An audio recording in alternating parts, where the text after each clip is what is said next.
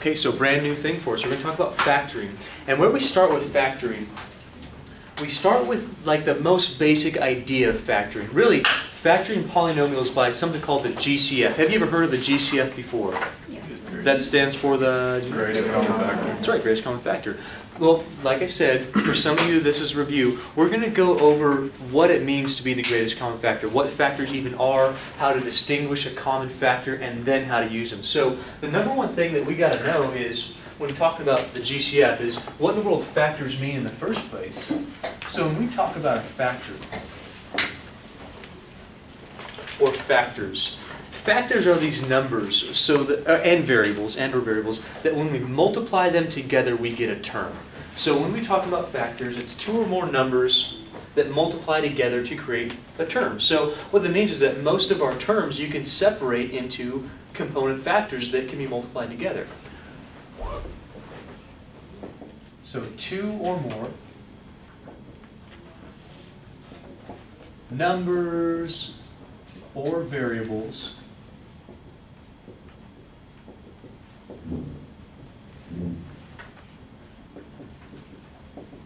that are multiplied together to create a term.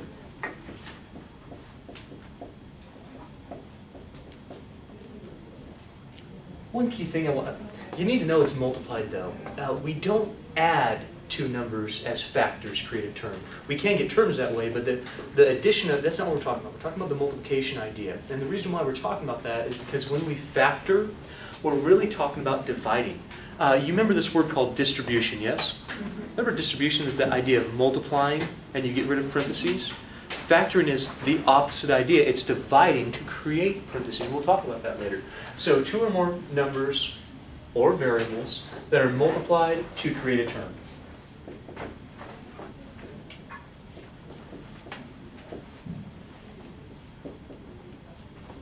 That's a really long-winded way to explain something that, that with an example I think is going to be really clear. Let's do just a couple very quick examples here. For instance, 15.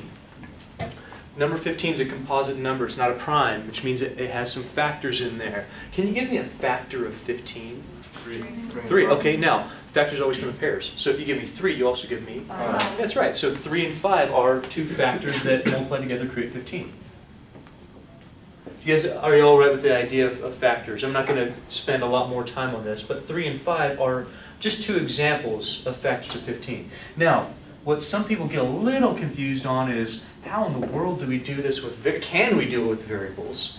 Well, the idea is, anytime you can take two quantities, whether they be numbers or variables, and multiply them together, well, those things are factors. So let me give you, for instance here, and then you'll give me another one. x to the 7, you all know how to pronounce it, yeah? Say that for me. Perfect. If I can find two quantities, so two variables raised to another power, that when I multiply them together, they make x to the seventh, then I've found two factors. For instance, are you aware that x to the third times x to the fourth,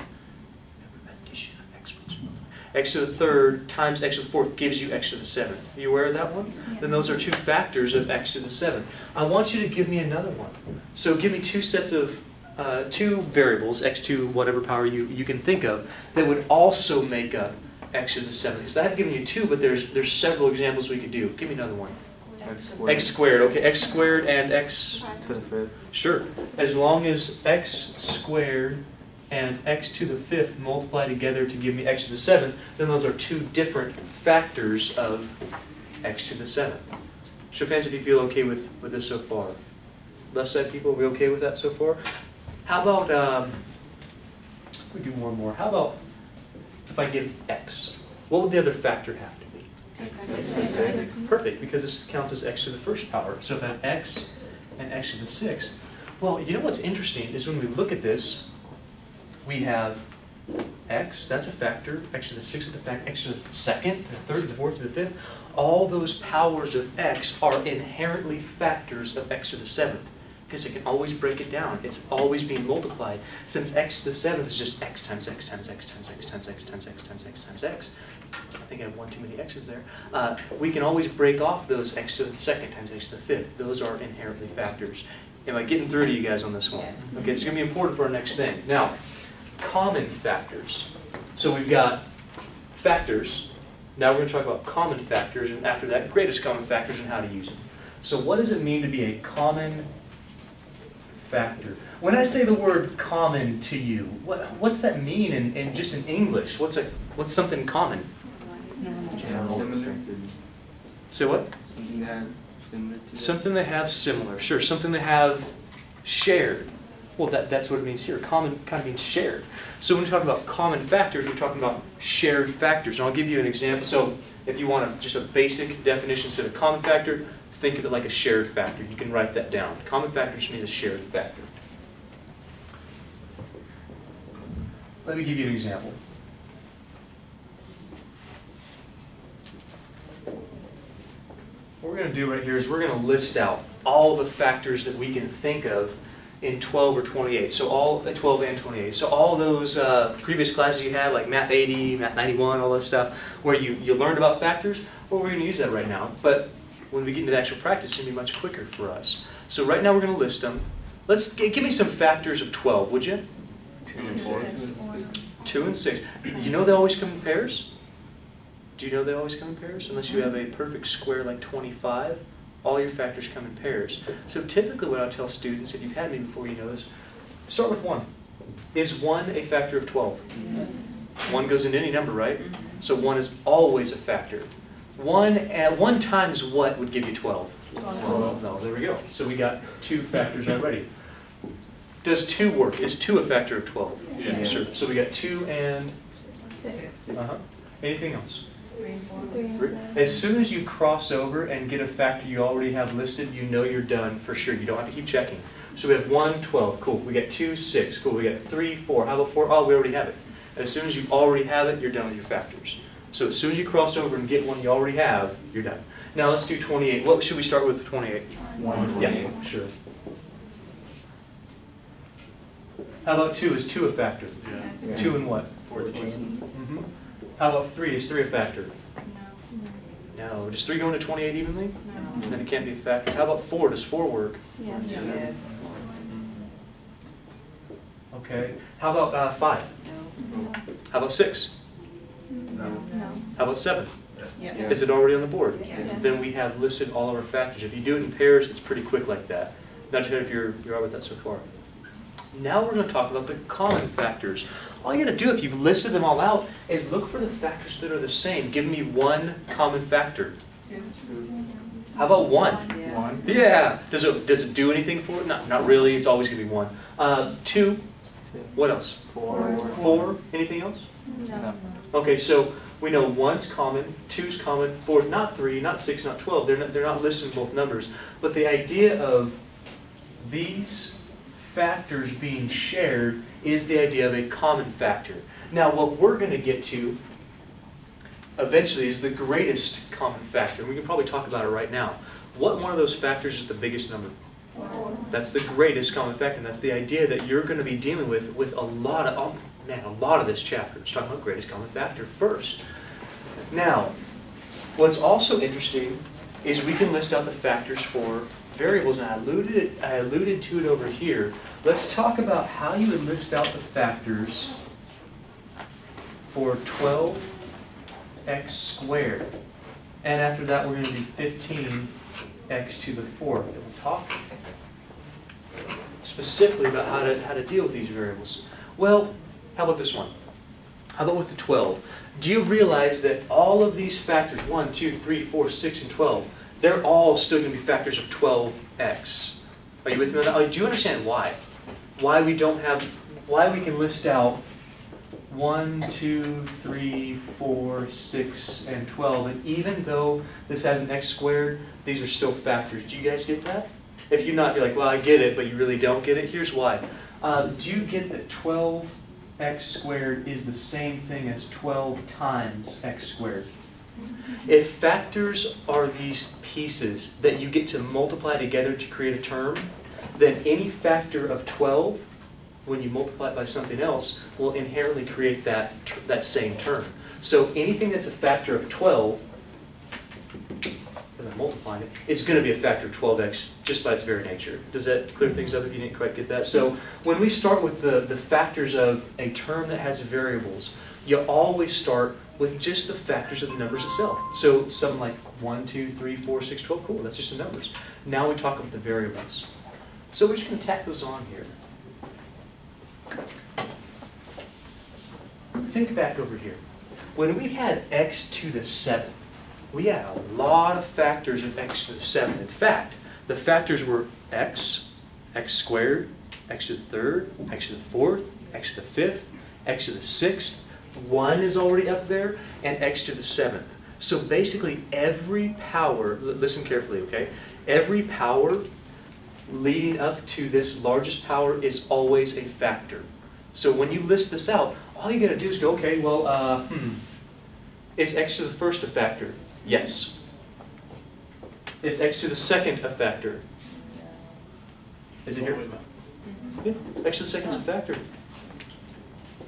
Is x to the third a factor here? No, that'd be too much. But what you're gonna do, if I listed this out, okay, I'm gonna take a little shortcut. If I listed out all the factors, I would have one. One goes into anything, it's always a factor. Remember, factors come in pairs, usually. So if I have one, I would also have x to the seventh. Hey, just, just listen. Is it true that one times x to the seventh gives me x to the seventh? Then those are factors. Multiplied together, they have to be factors. Uh, if I do x to the, uh, just x to the first power, it's gotta come in pairs. What else? X to six. That's right. Hey, oh wait, look, we had that one. Uh, how about x to the second? Can I multiply x to the second by something to get x to the seventh? Yeah. What is it? Five. X to the third? Yeah. next to the fourth. Notice, look at this.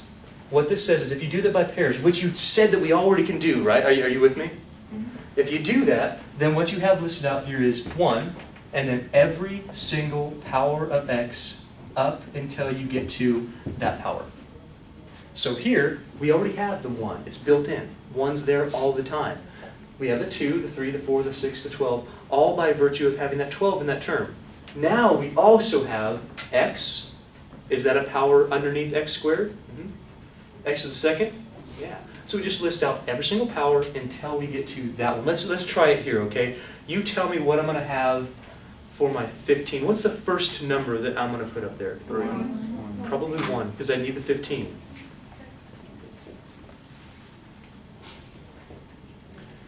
So we deal with the numbers first. Uh, what else? Three. Three. 3 comes with a 5. Is there anything else? No. So 1 and 15, 2 doesn't work, 3 works with the 5, 4 doesn't work, 5, we already got the 5, we're done, we're done with our numbers. Now let's try the variables. So I want, I want us to list out what the variables are as far as our factors go. What's the first one? X. X. Should I put x squared up there? Yeah. Sure. Is it a power under x to the fourth? Then it's, do you guys get that it's inherently a factor if it's less than that power? Because I can always write it as a power lower than this times another power. x to the third is lower than x to the seventh, multiplied by x to the fourth. x to the second is lower than x to the seventh, multiplied by x to the fifth. x to the first is lower than x to the seventh, multiplied by x to the sixth. You can always make that up. That means that every single power below or equal to that one is going to be a factor. We just list them. Makes it easy. So x to the first, yes. x to the second, yes. How about x to the third? Yeah. Yes. Course. How about x to the fourth? Yes. Yeah. How about x to the fifth? No. No. X to the fourth? Yes. Show of hands if you feel okay with the factors as far as variables go. This part, yeah, probably pretty easy. I know you know that. The variables are what I'm talking about right now. That's what people get a little confused on. Question. The one that threw me off was the, the twelve x squared at the very end where you have an x by itself and then the x squared. Mm-hmm. Because when I see that, I'm seeing three with the, the two x's on the end. Okay, there. keep in mind that what's going on here is that we're, we're listing out these terms, we're not multiplying all these things together. If you multiply all these things, you're gonna get way more than twelve, Oh, gotcha. okay? And you're gonna get way more than x squared. We're just listing them. If you multiply this all out, wow, that's x to the add all those things up. What we're doing is saying, well, ah, what could we divide by? We could divide by one. We could divide by x and x squared and x. If you can divide by these things, they are factors, because that means that when you multiply two things together, they'll give you that term. So we're not multiplying these things, we're listing them right now. Did that, did that clear that up for you? Okay, now let's talk about the common factors, and this is where it's going to get important. What are some common factors here? What do you see? One. One. Three, great, three. Anything else? X. Oh, so as far as the numbers go, anything else besides one and three? Uh-huh. What's the, listen carefully, okay, this is where we're gonna jump to the greatest common factor. What's the biggest number? Good. Now we look at the variables almost independently. So, uh, do we have common factors? Yeah, this is weird though, right? Every power is gonna be listed up to the, the largest one. So, x is a common factor. What else is a common factor? Now, how about x to the third? Is that a common factor? Uh, is it in both places? No. How about x to the fourth? No, okay. What's bigger, x or x squared? Same question as what's bigger, one or three. So when we get to talk about the greatest common factor, here's what you do and listen carefully. You find the greatest common factor of the numbers. That would be three. You with me? You find the greatest common factor of the variables. What's bigger? You put those two together. So the three and the, why not the x? The biggest. Why not the x to the fourth? It's not there. You take the biggest one that's shared by both. That, by definition, is the greatest common shared factor. So what we do, we do numbers, we do the variables, we put them together. This right here is the idea of the GCF. What I want to know is that, does that make sense to you? Show of hands if it does. You feel okay with that? Yes, yes, yes. Destiny, yes? Okay, cool. Kind of cheated and went a little, little bit ahead. So when we're talking about this, we know what a factor is. Factors are those pieces that are multiplied together to give us terms. All about multiplication. Common factors when they're shared. And now we've jumped to the greatest common factor. The greatest common factor is the biggest shared factor. So when we say GCF, what we mean here is the biggest shared factor.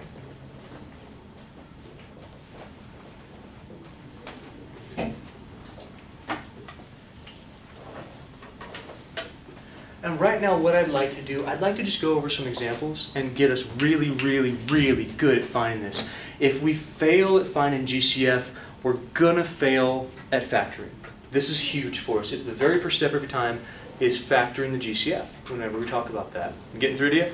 So let's practice. We're not gonna even worry about variables right now. We're just gonna do some numbers. Just finding GCF. Um, are there any questions on factors, common factors, or the idea of the GCF? I know this is not purely explained yet, uh, but I want to know if you understand the idea that the greatest common factor is just this biggest thing that's shared by both these terms. Do you understand that? The biggest factor. Okay, good. It's shared by both terms.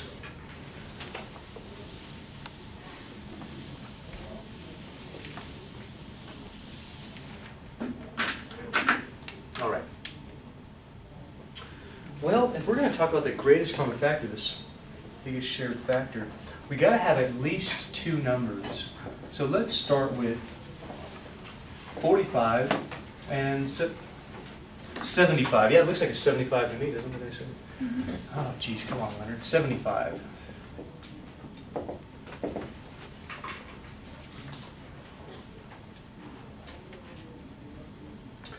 I'm going to give you two ways to do this. Uh, the first way is the way that you already know. I'm going to go very fast through that, that method one. This, listen them all out. That's your first method. You should know how to do that from a previous class. The second method, some teachers gloss over, so I'll make sure you at least see it once. The first method is, man, just list them all out. So if you have trouble with finding the GCF just in your head, by the way, we need the greatest, so I don't want you to just give me one all the time. What's the greatest common factor? One? No, that's a factor. Is it the biggest one? Generally not, unless you have two relatively prime numbers. Um, but no. So if we're going to list these out, we got 1 and we got 45. We'd have 3 and we'd have 15. We'd have 5 and we'd have 9. Did I miss any? Am I good? Can you think of any more? I can't think of any more. So 1, 3, 5, 9, 15, 45. I think I have them all. Let's do 75. Again, I, my job right now is not to teach you how to do this. This should be there already. My job is to teach you what to do with it uh, afterwards. You follow? So the next one. Uh, oh, we got one. We got seventy-five. What else? Three, twenty-five? Yep, three and twenty-five, perfect. What else? Five and fifteen. Okay, anything else? Can you think of any more than that? That's all I have written down. Okay, uh, well, do we have any common factors? Yes. One. What's the first one? One. Is it the biggest one? No. Are you always gonna have one? Yes. Of course you are. Uh, three, is that the biggest one? No. Five, No. tell you what, if three and five are both here, that means you have something bigger. Uh, because if they're both multiplied give you fifteen, you're gonna have a fifteen. Fifteen, is that the biggest one? Yes. So right now, we know our GCF is 15. For small numbers, that's probably the way to go. I will give you another way to do this. Not hard, just a little bit more kind of advanced thinking. Uh, use some number theory here. So if I had 45, another way we could do this, you could do this with a number tree. Uh, number trees with, the, with factor trees, uh, with greatest common factors uh, and prime factorization says you start with the smallest prime numbers and you break it down until you have only prime numbers here. For instance, 3 squared times 5 would be the prime factorization. If you did 75, it'd start off really similar. You'd have 3 times 25, and that would give you 5 times 5. So we would have 3 times 5 squared.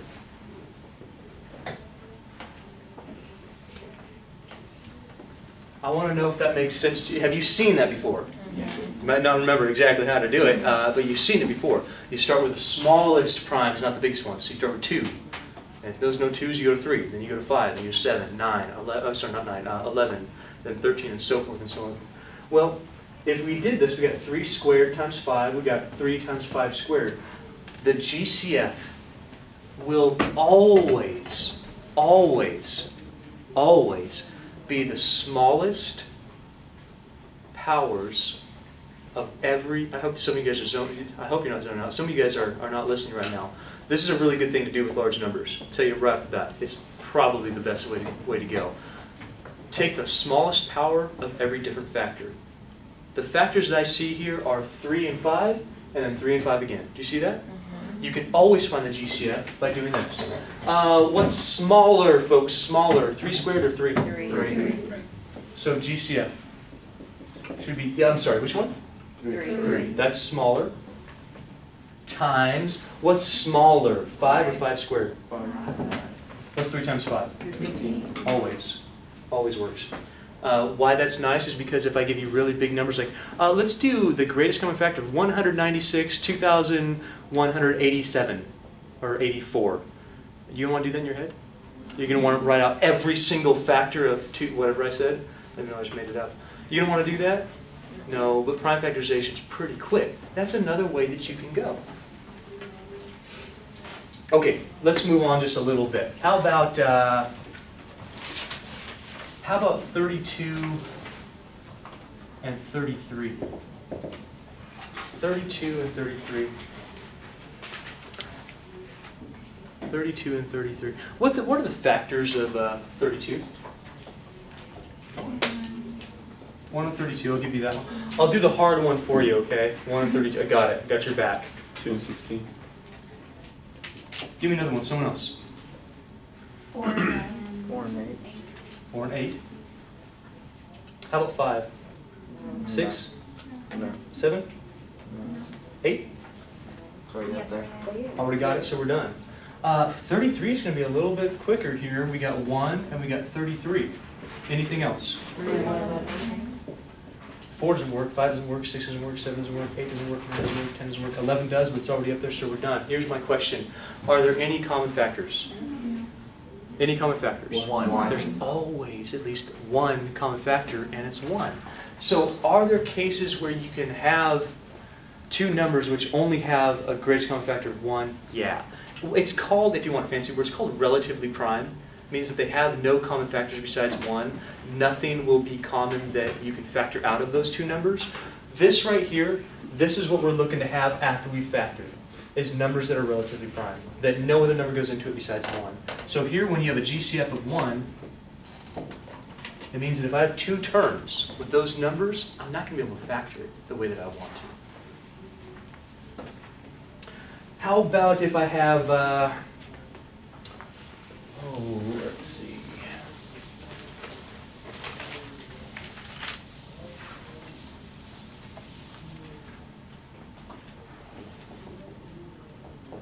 How about 14, 24, and 60?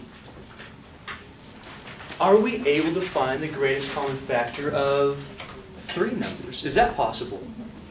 It, oh, it means the same thing. It just means, hey, let's find the biggest number that will go into all three of these. So you can do it the same way that you did before. You can do it this way. You can list out all the factors if you want to, and find them. Just find them. So one, if you want to do it kind of quickly, if you want to do it quickly and not write everything down, I'll give you a little helpful hint here. Start with the one that has the least number of factors. For instance, um, if I was going to do this in my head and I didn't want to write all of them down, because I don't like doing that, okay? Uh, I'd start probably with 14. And here's what I'd do. I'd say 14, I'd write them out so I, I don't miss any. You, you don't want to miss any. I'd have 1, I'd have 14, I'd have 2, and I'd have 7. Would we agree those are all the factors? Yes. Okay, to be a greatest common factor of three numbers, do you, do you get that they have to go into all three of them? Yes. So if I'm, uh, let's see, like here, 6 goes into both 24 and 60, doesn't it? But does it go into 14? No. It can't be the GCF. It's got to go into all three. So if you pick the number with the least number of factors, sometimes you can cheat a little bit. One, do I care about one? No. Okay. Two, Yes. does two go to 14? Yes. Obviously. Does two go to 24? Yes. Does two go to 60? Yes. Potentially that's it. Check the other ones, just to be sure that there's nothing bigger. Does seven go into 24? No. No. Seven goes into 21, it can't go into 24. Does seven go into 24? No. Do we care if it goes into 60 once we've determined it doesn't go into 24? No. So this doesn't matter. Does 14 go into 24? No. You have quickly found the GCF just by the process of elimination. Pick the one, pick the number that has the least number of factors, just check the factors. If they don't go into both numbers, then they're not the GCF. Show of hands if that made sense to you. Could you have done it this way and listened to them all? Absolutely, but I'm trying to save you guys some time. I'm saving your lives, right? Lives are time, I'm saving your lives. So the GCF for these ones, just two. Very quick way to do it. Okay, I kind of previewed this a little bit in the example that was right here before. We're going to talk about variables and then we're going to put all this stuff together and learn how to factor. Are you ready? Yes. This is like, this is the good stuff. So here we go. Next example, let's talk about the variables. If I wanted to find the GCF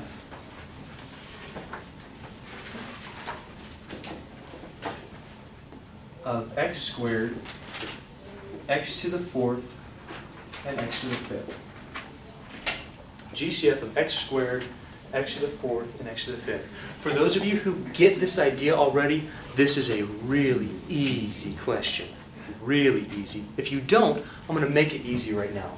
Let's do, let's do this with what we have here. So if I were to list out the factors, you remember listing out fact, you remember, you remember, you remember, mm-hmm. remember listing out factors, how when I do this, well, there's always a one, but then I'm just gonna have all the powers leading up to my largest power. That's what I'm gonna have. Let's look at this real careful. Do you understand that one's always a factor? Always divides everything. Is x a factor? It's a power of x less than 2. Is x squared a factor? Of course it is, because 1 times that gives me this, this term. If I'm going to do x to the fourth, well, I'm just going to have 1, but I'm going to have x and x squared and x to the third and x to the fourth. Every power leading up to x to the fourth. If I do x to the fifth, I'm going to have 1 and x and x squared and x to the third and x to the fourth and x to the fifth. I hope so. Did I do it right? Mm-hmm. Okay, now here's my question. Do we have any shared factors? Is it x to the fifth? No. Tell you what, a lot of students, when they're first learning this, they look at that and go, oh yeah, x to the fifth, it's the biggest number. It's the biggest one. Obviously, that's going to be it. It's greatest. No, greatest shared. So all these, all of these have at least x squared, correct? Mm-hmm. Well, that's really what we're looking for. We're looking for, all of them have at least this much. If you look here, the biggest one that's actually shared is right there. I don't care that that's x to the third and it's shared there. I don't care. That doesn't have it, so it's not the greatest common. Common means shared, the greatest common factor. That's what we're looking for. Show of hands if you feel okay with, with that idea. Cool. So in our case, man, it becomes really easy. You're looking at these ones, well, I, I know it seems funny, but take the smallest power. If you take the smallest power that's listed right here, that's the shared. That's the one that's shared. You can't do x to the fifth because that doesn't have x to the fifth. It has at most x squared. Does this have, this has x squared, yeah? Does this have at least x squared? Does this have at least x squared in it? Then that's your GCF. So GCF here would be x squared. I want you to try one, just real quick, to make sure that you, you all get the hang of it. Let's do uh, a couple examples. What I want from you is I want the GCF of y to the fourth, y to the fifth, and y to the eighth. And then I want the GCF of x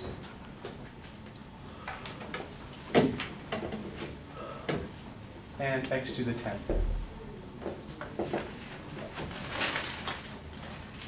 And you can just write it right next to this. If you need to list out all the factors like I did here, do it until it really makes sense. Don't do shortcuts right now because this is imperative you understand this. So if you need to list them out, all list every power of x up until that number. List every power of x up until that number. List every power of x up until that number. Look for the biggest one. That's your GCF. You can do that every time. Once you understand this concept, though, you can go very, very fast on that. Uh, does anyone need more time on these? Have you figured out the GCF for y to the fourth, y to the fifth, and y to the eighth? What's the biggest power that, but that's shared by all three of those terms? What is it? Y to the fourth. Perfect. That's right. You can't go any bigger because that doesn't have any more than y to the fourth. Uh, it's kind of like, it's kind of like going out to lunch with your buddies and you want to make sure that everybody eats and uh, you have eight dollars and you have five dollars and poor old Leonard has four dollars and you go let's go to uh, let's go to this place where it costs five dollars. Can I eat? At four dollars. Can I eat? No. Let's go to this place that has eight dollars. Can I eat? Screw you guys. This sucks. Uh, where, where's everyone gonna be able to eat? At the four dollar restaurant. That's my type of living, folks. You gotta go where everyone can eat. So go where the power is shared by all. Y to the fourth. Hopefully that analogy made sense to you. How about x and x to the, oh wow. How many x's are here? What power of x is that? One. One. X to the tenth. What's, what's the greatest common factor? X. X. You can't go any bigger than that because this guy only has one dollar. Poor guy. Uh, that's it. It's that has more, sure, but you need to go with the largest factor that is shared by all the terms that are listed. Have I explained it well enough for you guys to understand it? Now we're going to put the idea together. We're going to talk about the greatest common factor of these terms that involve both numbers and variables, but it's no different than what you've done. Did you guys get the numbers? Mm-hmm. Did you get the variables? Do the same thing. You should put them together at the end. So let's talk about that real quick.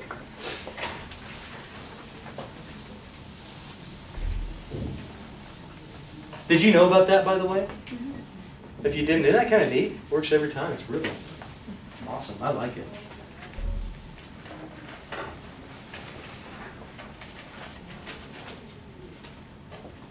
So we're going to find the GCF here.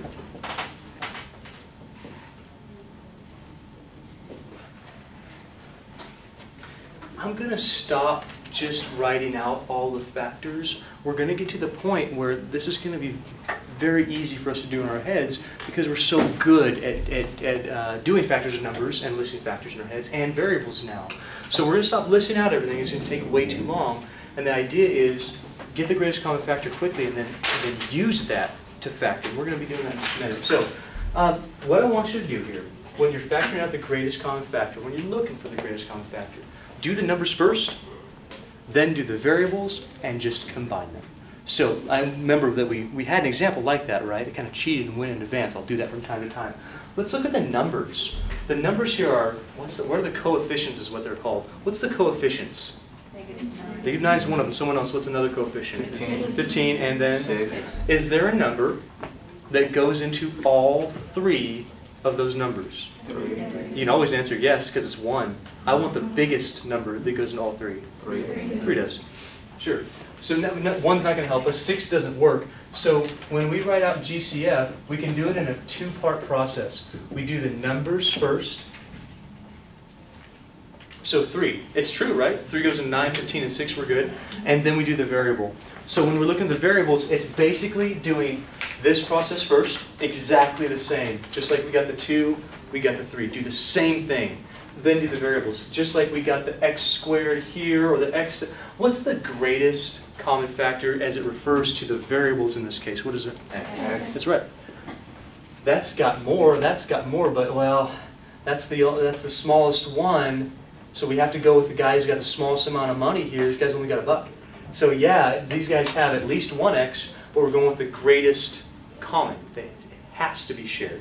So if I can list out x to the fourth, that would take this guy out of the picture and that guy out of the picture. x squared would, this guy would have it, but that guy wouldn't. So x to the first power is, as far as our variable is concerned, greatest common factor. What that means is when we put our numbers and our variables together, greatest common factor is, does 3x go into this term? Sure it does. Remember, it goes in means divides, because a factor is multiplication, so the inverse of that is division. Does 3x divide 15x to the fourth? Yes. Of course. Does it divide 6x? Yes. Yeah. Notice how if this was a square, would x squared divide x? No, Be too big. Too big. If that was a 4, would that divide? no, too big. That's a problem. I think I said 4 and wrote 2, didn't I? Oh well. No, you said two. I did? You said two first, word two, then write four. I got it right? Yeah. Yes. Perfect. Tell you what, I'm gonna do one more with you, kind of a more advanced one, looks more advanced, not harder, it's the same exact thing. Then I'm gonna have you do a couple on your own, okey dokey? Mm-hmm. So you can practice it. So first things.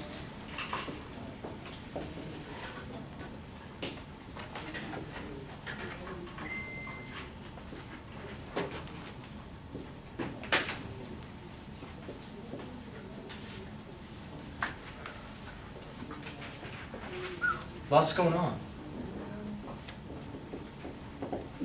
It can look intimidating, but follow the explanation here. Follow the explanation. The explanation is find the, the GCF for your numbers and then look for the GCF of your variables. Don't just do it all at once. It can be kind of hard to do. So first thing, let's just see, let's pretend there's no variables. Let's look at numbers. What are the coefficients here? Coefficient. Eleven. One. One. One. It's not, it's never nothing. One. One. Yeah, if there's nothing there, it's one. Uh, so coefficient 11, 1. Hey, what number goes into all three? 11, 1, and 1? One. 1. Do you need to write down the 1? No. Not really, and prefer if you didn't, but I'm going to put it here just to say that we did it, okay? Uh, now we're going to go over to the, the A's and our B's. You know what? Just like we can do our numbers independently of our variables, you can do each variable independently of themselves because it's all being multiplied together. So don't worry about the B's right now. Look at the A's. I got A to what power? One. Do you know that you're done right now? Yeah. A to the second and A to, okay, what's in common to all three of those? A to the first. Not A to the second? A. Not A to the fourth because I have one, two, three, four? Not that? No, no, don't do that, okay? You're looking at these independently saying, what's the biggest value of A, power of A, that's going to go into all three? And that would be A to the first. Are you with me on this one? Are you sure? Yeah. Guys in the middle, yes, no? Okay, oh, yeah, we're all good. So one goes into all the coefficients. A to the first power, well, that's the greatest common factor as far as A is concerned. Let's do the B. I have B to the third, I have B to the third, and I have B squared. What's the biggest one that goes into all of them? Perfect.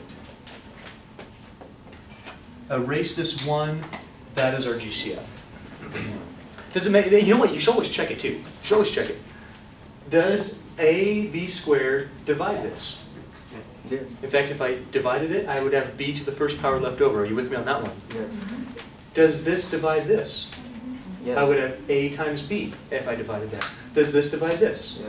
I would have what? One. One. Are you ready to try some on your own? Yes. Yay. Easy, medium, hard. Medium. What do you think? Medium? You're still learning it, right? Yeah. Is it gonna take practice? Yeah. Bet you it's gonna take some practice. Do the numbers, do the variables, you can do each variable independently. Just don't start picking the biggest power that you see, that's a problem. Pick the biggest power that's shared by all of them and you get it right every time. I hope you understand that doing this, doing this is so important for what we're gonna do next, because you can't factor unless you know how to find the greatest common factor. I mean, it's, it's right there, you've gotta know how to do it. I think you'll be fine at it, but you will need to practice it. Okay, so how about?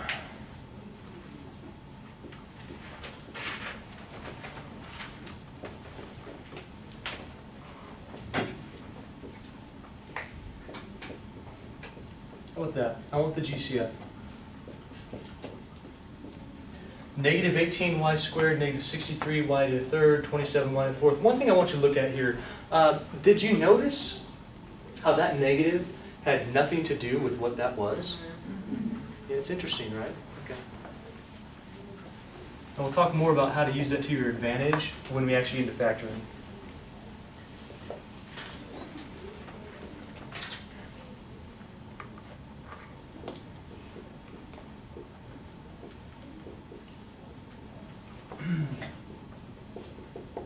So I want the GCF here, I want the GCF here, and I'll give you one more just for funsies.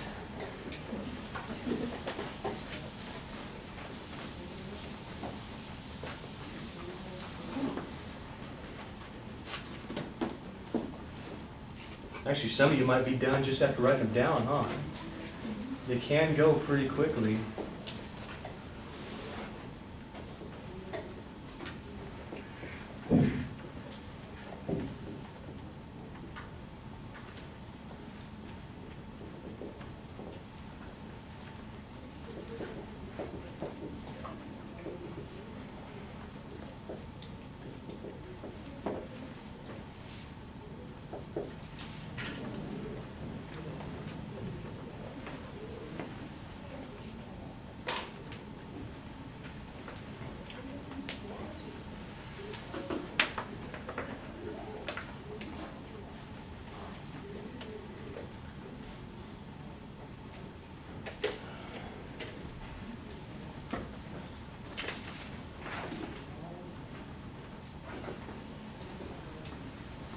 Oh, man. Let's look at the first example. Have I given enough time to, to complete these, or at least do the first two? All right, first example, what should we do? Should we look at all of this, or just the numbers first? The numbers. Let's do the numbers. 18, do I need to worry about the negatives? No. No, when we're factor, when we're actually factoring, I'll show you how to do that appropriately. But right now, no, and, and it's not going to affect the actual absolute value of what you factor anyway. So 18, 63, 27. Oh man, have you found something that goes in all of those? Nine. Nine goes into all of them. You know, you could you could check it with maybe this one or maybe this one because it has the least number of factors. This has one, three, nine, and 27. Does 27 work here? No. No. Maybe go to the nine. Does nine work here? Yes. Does nine work here? Yes. Hey, you're done. It's nine. Now, variables at this point should be really easy. It's easy. It looks, I mean, you think it's gonna be harder. It's not. The numbers are harder. What's the greatest common factor, as far as variables are concerned, that are shared by all three? What is it? Y squared. Perfect. That's exactly right. You don't add them all up and get y to the ninth or something. You just get, well, the one that's shared by all of y squared. Show of hands, we got nine y squared. Brilliant. Very well done. Okay, how about the next one? Uh, numbers first. We got four, we got, One. we got three. You got your answer already. Uh, what's the number as far as your GCF? One. We can write down the one just to keep it in our head that we did our numbers. Uh, now, the variables of x squared, x to the third, x to the eighth. What is the greatest common variable? X squared. So we're gonna have one x squared. Erase the one, you don't need it, but let's double check. Does x squared go into this? Yes. Yeah, does x squared go into this? Yes. Go into this? Yes. Good. Did you get to that one? Kind of fun, right? What's the, uh, what's the greatest common factor as far as the number's concerned? One. Yeah, there, there are no coefficients besides one, so you can have a one, you don't even need to write it if you don't want to. Let's talk about the a's. Remember, you can do the a's and the b's or any variables independently of each other, so look at the a's first. What's the greatest common factor in reference to the, in regards to the powers of A? A squared. Beautiful. Why is it A squared and not A to the fourth? Because that is, That's- it is the most, it matches small. all. Okay.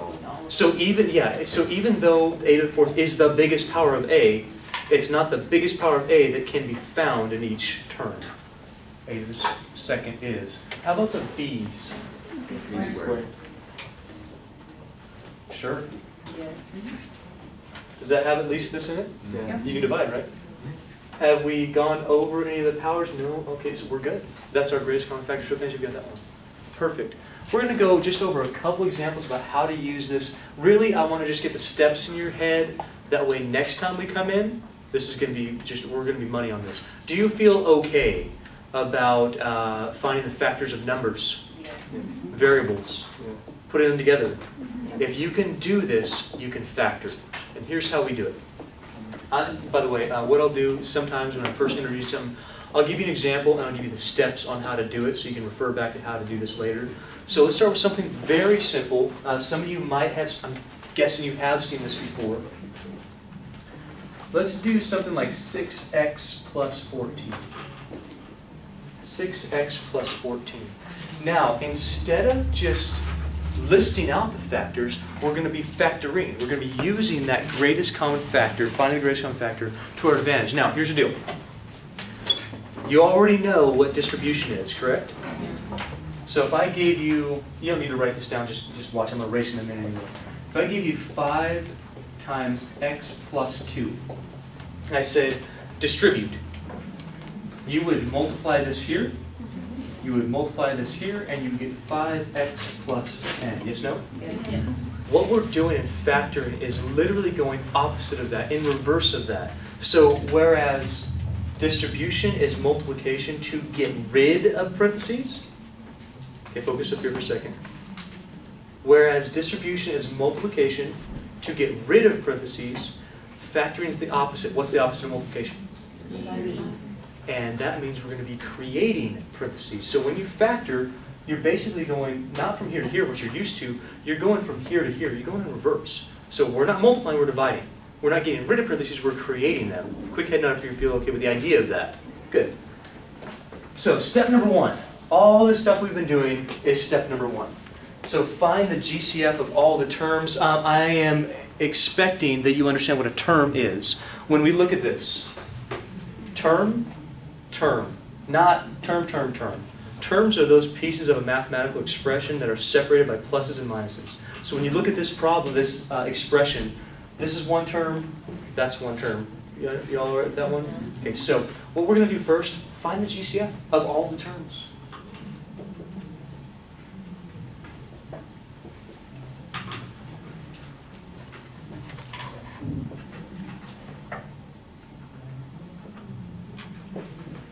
Well, let's do that. Let's do the GCF of the terms. Tell me, GCF, can you look at 6x and 14? Just pretend it's like this, okay? Pretend it's like that. Can you look at 6x and 14 and tell me a greatest common factor?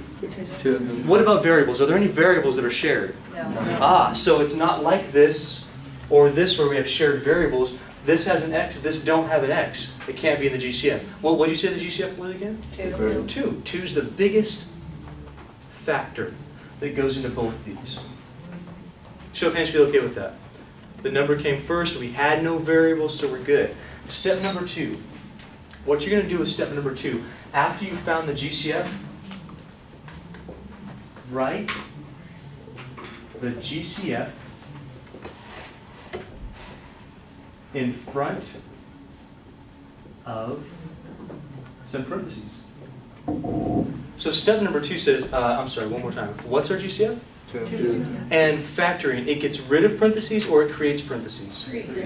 So we're going to do our GCF, and then we're going to put a set of parentheses. This is what I mean by step number two. So step number one, find GCF. Oh my gosh, we should be so good at that right now, right? We spent an entire hour finding GCF. Now, write the GCF in front of some parentheses because that's what we're creating here. After that, step number three. Distribution multiplies. Factoring divide. each term, we know what terms are, divide each term by GCF. Just divide, that's it. You all know how to divide. Even if there was variables, you would know how to divide that. We'll, show, we'll see that in some subsequent examples, but here we go. So step one, find GCF. You all feel okay with GCF?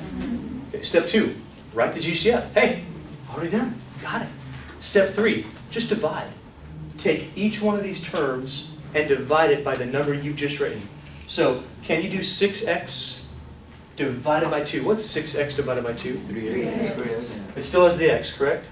Because there was no x to divide, so it's, okay. Plus, hey, plus. Uh, can you do 14 divided by 2? That, ladies and gentlemen, is factoring. Step number four, just check your work. Make sure you have it right. Do not go any further until you have it right. Here's how you check, okay, listen. Here's how you check whether you have it right. The first thing you do, you distribute to make sure this is accurate. Is 2 times 3x 6x? Yes. Is 2 times 7 14? Yes. The next thing you do, you make absolutely certain that you have found the GCF. What that means is that the, remember the special word I gave you phrase? It's called relatively prime. You remember that? Mm-hmm. These numbers have to be relatively prime. If they're not, you've made a mistake. Can you divide 3 by, and 7 by anything besides 1? No, That's good. Are there any shared variables here? That means you factored the GCF correctly. And that's the whole idea. So step number four, if you want to write step four, it's just check your work, and that's the two ways that you do it. Show of hands if today has made sense for you. Good. Okay, so we're going to continue factoring. And the very first I'm going to say this probably a hundred times, the very first step in factoring anything that you're going to factor is always finding the GCF, if there is one. That is your first step, no matter what else I teach you for the rest of the semester. Whenever you're involved in factoring, very first thing you check for is what? GCF, that's number one. So the, in our case up here, the idea is, I'll lead you through this because it's been a while since we've done any of this.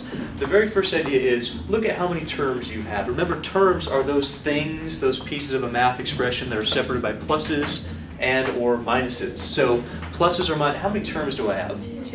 We look at those two terms, and basically we just find the GCF like we practiced so many times before with those two terms. Remember that we're looking for numbers first, and then variables, and we put those two things together. So when we look at 49x minus 35, those two terms, the 49x and the 35, we think of a number, any number that, that can go into both of those terms, and the biggest number, the greatest number that goes into factors both of those terms, common, greatest common factor. What number goes into both of those? Okay, so I'm not going to rewrite the steps I gave to you last time, but the idea is once you have determined what the GCF is, you can write it down. You don't really have to, but you can just keep in your mind. We get the number first, then we look for any variables. Are there any variables common to both of these terms? So while this has an x, that one doesn't, we, we say no, there's no variable that's common to both. Hence, our GCF for, for this expression is just 7. Show of hands feel okay with that so far. Cool deal. Now, the next step I gave you was, well, factoring is the opposite, the inverse of distribution. So where distribution multiplies and gets rid of parentheses, factoring divides and creates them. So we're really creating parentheses every time we factor. That always, if you factor something, you're going to create parentheses. So when we've determined our GCF is 7, what I've said to do is put that 7, the GCF, right out front, and then create a set of parentheses. What you're saying here is I'm going the opposite of distribution. Uh, I'm going to create parentheses and divide to get my inner two terms here. So basically, since distributions multiply, div- is divide, to get these two terms, we're just going to divide. What are we going to divide by? Why? That's it. That's a GCF. That's what actually divides into both of those terms. So we're going to take that. Sometimes you can do them in your head. When they get more advanced, I'll show you some methods on how to write this out so that you can you can see really what's going on. Basically, you do it term by term. Can you do 49x divided by 7? What is it? 7x. That goes right here. That's our very first term. So base, it's just these two terms divided by our GCF, and we put our remaining two terms inside our parentheses. Can you check your work? Yes. Yeah, if factoring is the opposite distribution, that means to check our work, we just have to distribute. So seven times seven x is forty-nine x, we know we got it right. Also, this sign is going to be the same unless we start factoring out negatives, and we're gonna talk about that in a little bit. But generally, if you're factoring out positive numbers, your signs don't change. Now we go to the next one. What's 35? Remember, we're dividing here, we're factoring. What's 35 divided by 7? Five. And you always double check your work. Don't go any further. It'd be so silly to go further because right now, this is the problem, right? It's can you factor or not? Later on in chapter 7, 8, 9, oh, not 9, but 10, 11, 12, 13, you're going to be factoring, but that's a small part of the puzzle. So don't just assume you have it right and go on and get the whole problem wrong because you will waste a lot of time there. Make sure you got it right. So first thing we check for, does this work? Is 7 times 7x 49? 7 times, we can consider it negative 5, I know it's minus, we consider it negative 5. 7 times negative 5 is that the minus 35 that we want? Yes. Cool. Are these, there was a key word there, special word, relatively prime. Are they relatively prime? Which means the only thing that goes into both those terms is 1. Then we're done. That's the idea of factoring. Do you guys feel okay with the factoring? I know it's been a while, but does that make sense to you? Watch your foot there, make sure. Okay, so that's our factory. Let's go ahead and do a couple more examples. We're going to start ramping it up. Uh, this was probably the easiest one that we can do at this point. Uh, we're going to start talking about how variables play a part of this, and then uh, then put numbers, variables together, and see what all we can do. So, next example, how about y to the fifth minus y to the seventh? y to the fifth minus y to the seventh. Uh, first thing, how many terms do we have? What do you think? Two. Perfect. What's the first step in factoring every single time? What is it? Let's look for the GCF. And, and for now, we're going to write it down. When you get uh, more practice with this, you're not going to do that. You're just going to go for it. You're just going to factor. So we're looking for the GCF. Um, are there any numbers which go into those two terms? One. One. So just one. Do we have to write down the one? No. You can, but it's not going to help us. So next we look for any variables. Are there any variables which go into both of those terms? Remember, it's very much like doing this and saying, hey, what's the GCF of those two terms? You're doing the same thing. It's just now we have a minus between it. But this idea does not change. What is the GCF according to the y to the fifth and y to the seventh? Remember that what it is, it's the biggest power that both of these things have. Not the biggest power you see, but the biggest power that both of these terms contain. What is it? Y to the fifth. That's right. Feel all right with the GCF? Yeah. Hey, we're factoring. What, what do we do with that y to the fifth? Where are we going to put that? Mhm. So if we have y to the fifth, and we know, wait a minute, factoring means that we're going the opposite distribution. So we're going to be creating some parentheses here. That always happens when you're factoring. Now we're just going to figure out what these two terms are going to be. You still have the same number of terms, don't you, inside those parentheses? There's two here, there's going to be two terms here. You're just creating a factor, something that you can multiply by that gives you back your original expression. That's the idea.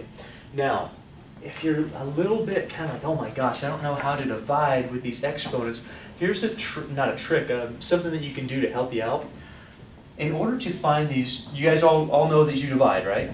Well, take your first term, divide by your GCF, and whatever your answer is, by the way, this has to work, otherwise you picked the wrong GCF. It must always divide, otherwise it's not a factor. Did you catch that? Mm-hmm. If you're trying to divide and go, wait a minute, it doesn't work, pick the wrong thing. So go back and fix your GCF. This will always work. How much is y to the fifth divided by y to the fifth? One. That goes here. One. You can always do it off the side if it gets a little bit more advanced for you. Man, I can't do it in my head, write it out. Not a big deal. Is that sign going to change? What do you think? No. Okay. Next one, this one. So we wrote the first term divided by GCF. That's y to the fifth divided by, just happened to be y to the fifth. It ends up being one. That's our first term. Now we're going to take y to the seventh. We already know that we're going to have a minus there. Divided by y to the, wait, divided by what? Fifth. Sure. Second term divided by GCF, you have in two places. Can you do y to the seventh divided by y to the fifth? Yeah. Yeah. Y to the seventh. How do we do that? What do you do with those, those numbers there? Subtract. Yeah, we know that when we're dividing exponent, or common bases with, with exponents, we subtract those exponents. So we have y to the second, and that y to the second goes there. Can you still check your work even though you dealt only with variables here? Yeah. Mm-hmm. Yeah. Distribution's the opposite of factoring, so those things work hand in hand, like division and multiplication. It is division and multiplication. So if we checked it, y to the fifth times one, y to the fifth, and y to the fifth times y to the second. Remember, oh yeah, exponent rules, when I multiply common bases, I add, add those powers. So that would be y to the seventh, and we know we have it right. Now, let's keep going just a little bit further. Um, how about this? Is there anything that goes into both one and y squared? Can, let's check for that. Is there anything that goes into both those things? One. One does. Anything bigger than one? Are they relatively prime? Yes. And we double check so we know we're good. Show of hands feel okay with what we're talking about? Okay. Now, in the future, we will be talking about how we can go further on something like this. Uh, this, if you if you know this concept, if you had this class before or fit factoring before, which I think most of you have, uh, remember we have this kind of like a, a refresher for you. That's called the difference of squares, and we're going to talk about. Did you know that term, that difference of squares term? Yeah. If you remember it, great. If not, we're going to cover it. That's called the difference of squares, and I'll show you what to do with that as we, we move forward. Okay, what I'd like you to do now, I'm just going to give you two examples. I want you to do them on your own to make sure that you get this concept. When I do this, they're going to be really, really similar to the last two that I gave you. It's just so you can have that, that practice, uh, so that I don't want you to completely phone your notes. If you have to have your notes, okay. But try to do this fresh without having to go back. And that way you, you, you actually get it embedded in your head. You guys with me on this stuff? You're quiet today. Are you okay? Yeah. I'm excited, so. Might be that I'm extremely tired and running just purely off adrenaline, but whatever. People on the video don't know this, but had a baby, in the case, not me personally. Weird, But, uh, yeah. Anyway, go ahead with these two. So we're just working on factoring the GCF, so I want you to do that one. These two, please.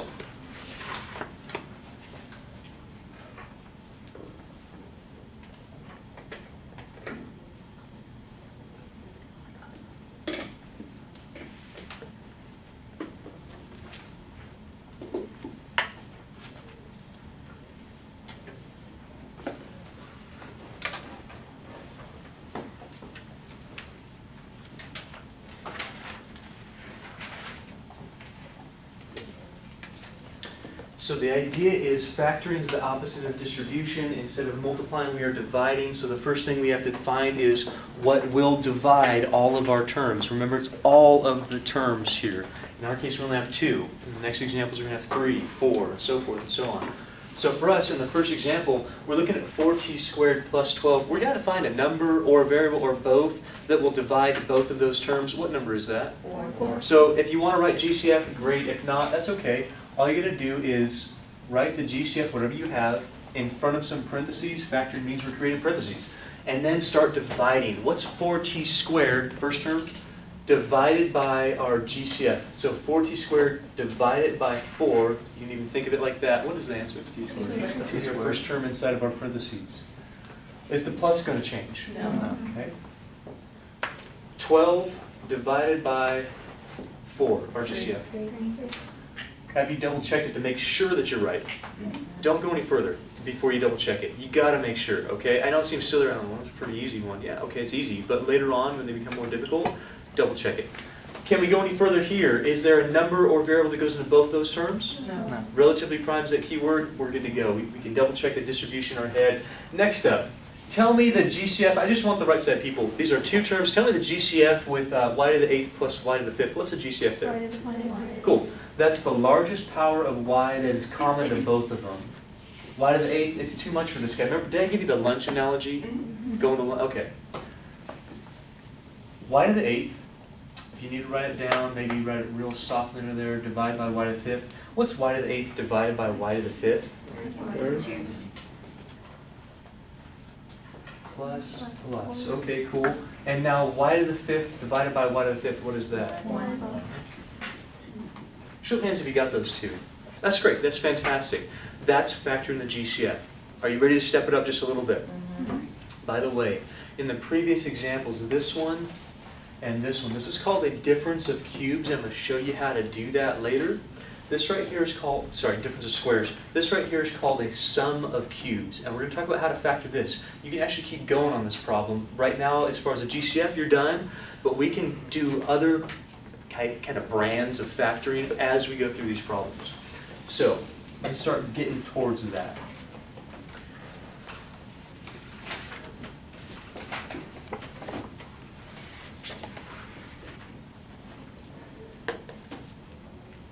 Oh dear, all right. So negative 12x to the third, we get a plus 10x squared minus 2x. Uh, left side people, real quick, how many terms do you have? Three. So if we're going to factor by the GCF, which is always our first step, we've got to have a GCF that goes into just two terms, right? All three terms? All three terms. So in our idea for finding a, a factor by the GCF, you got to come up with something, some factor, that goes into all the terms, not just one or two, but all three of them, or all four if you have four, everything. So let's look at the numbers first. Remember, we can do numbers and variables separately. Let's look at the numbers. I got negative 12, I got 10, and I got a negative 2 for my coefficients. Can you tell me a number that goes into all three of those? Remember that it doesn't have to be negative or positive uh, for it to have a factor. So negative 12 doesn't really matter. What number are you going to pick? Two. Okay. Cool. 2 goes into 12 and 10. mhm. 2, cool. That means that we can divide all three of these numbers by 2. Is that true? Yes. That means we can factor by it. Is that the biggest number that goes into all three of them? Yes. We want the biggest one, that's the greatest idea. Now we look for the variables, remember we do them separately. So I got x cubed, I got x squared, and I got x. Can you give me a variable that goes to all three of those factors, all three of those terms? Yeah, x. If we put that together, that right there is our GCF. Okay, uh, middle people, tell me the next step, what am I gonna do? Put it outside the parentheses. Okay, so I got my two x, I know factoring means parentheses. Quick question, how many terms are going to be inside the parentheses? Three. Does this get rid of terms? So if you have two terms, you're gonna have two terms and a factor. If you have three terms, you can have three terms and a factor. It's actually making it look a little bit bigger, isn't it? So inside there's gonna be the same number of terms, but outside you're gonna have this factor that you've divided out. Now we start dividing.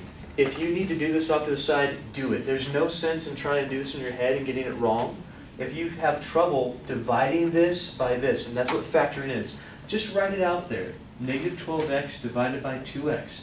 That's fine. Uh, I don't mind seeing, well, I do mind that one. Why? Get it wrong. If you do that, then sure, that's okay. How much is negative 12 divided by 2? Negative six x Be squared. careful. What is it? Negative six x squared. And yeah, x cubed divided by x, remember this is x to the first, so if you subtract them, 3 minus 1 is x. Squared. That is your very first term. If you want to write this off to the side, do it. If it helps you, do it. If it doesn't, if you can do this straight in your head, that's fine too. I don't care. You didn't know how you guys learn. So if you struggle with this now, I'm always getting the wrong answer, write it out. If not, if you're, if you're quick, it makes perfect sense, I can do it in my head, cool, do it in your head. Let's do the next one. I'm gonna do this one in, just in our heads here.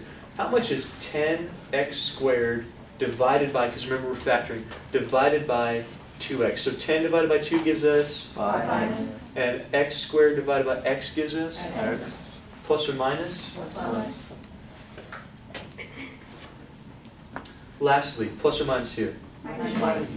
And then, oh yeah, that's, that's a nice one. How much is two x divided by two x? One. Notice how when you're factoring, you don't get rid of terms. They can change to ones, but that's the lowest that you can get right there. So when you have a GCF that matches up with one of your terms, you don't get zero. You get one, because something divided by itself is always one. That's the idea. Show me if you're all right with that one. Okay, now, can you check it? Should you check it? Yes. Should you check to see that these are all relatively prime? hmm Don't go any further before that. Now, I'd like to do something else. A lot of times in math, it's really, really helpful to factor so that two things happen.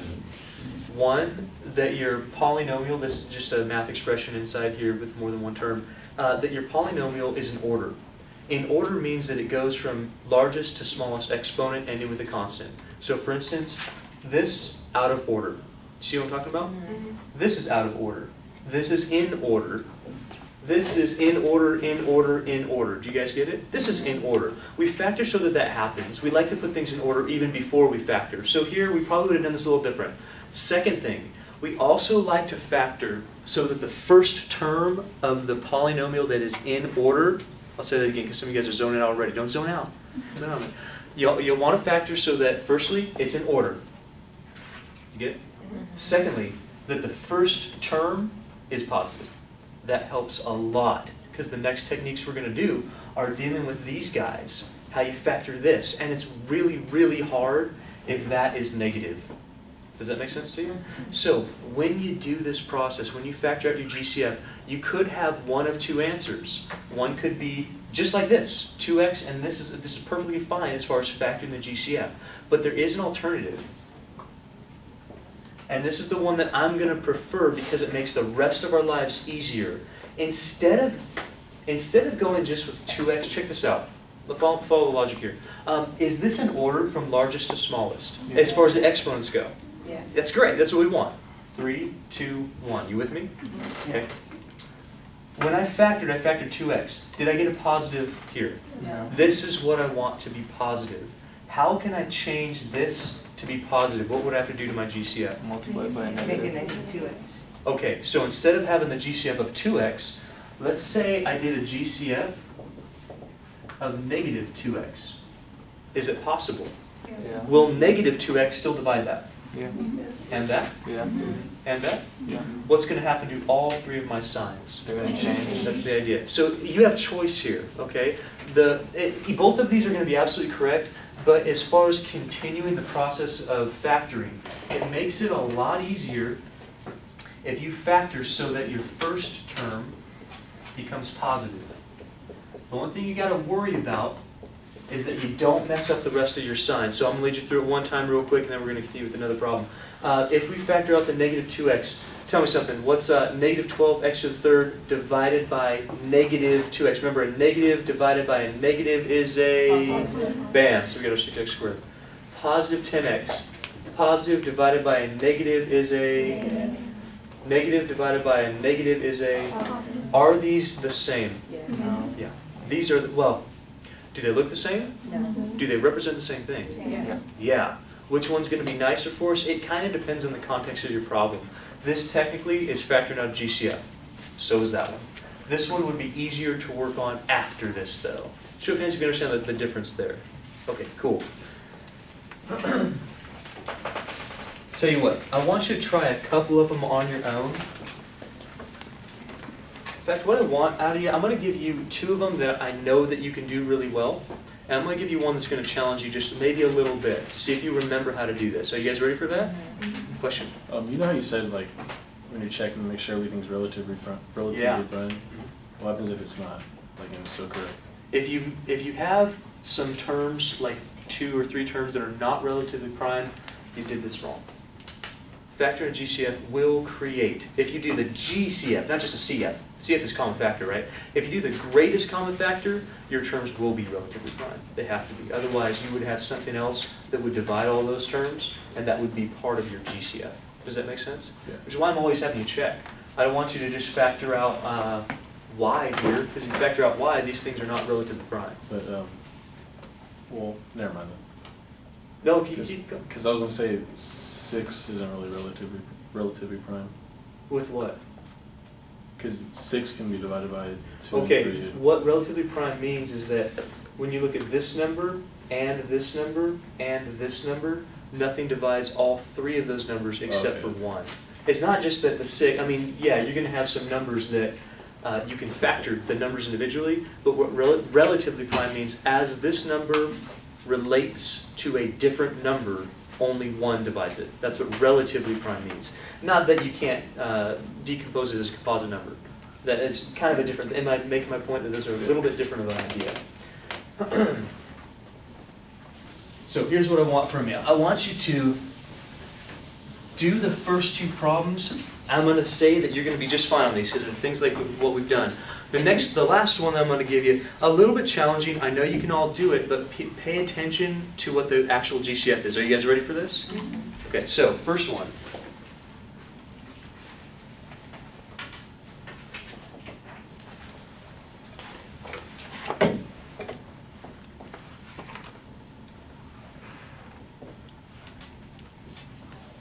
I want you to identify the GCF. This is up to you. You can use a positive or a negative, I don't care. I would, you know how I would probably do this problem. So pick the correct GCF and factor it. And then after that, I want you to do this one. This is another one that I think you'll have no problem with. This last one may be a little bit challenging. I know you can do it.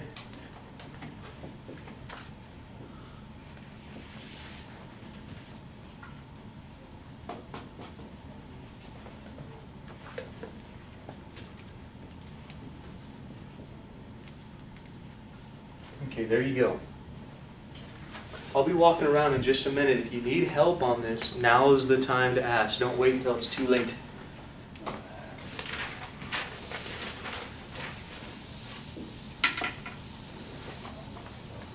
Also, keep in mind that if you want to really learn how to do something without relying on something else as a crutch, try to do these without using your notes verbatim, okay? Try not to go, oh, what's he doing? Okay, now let me follow that step.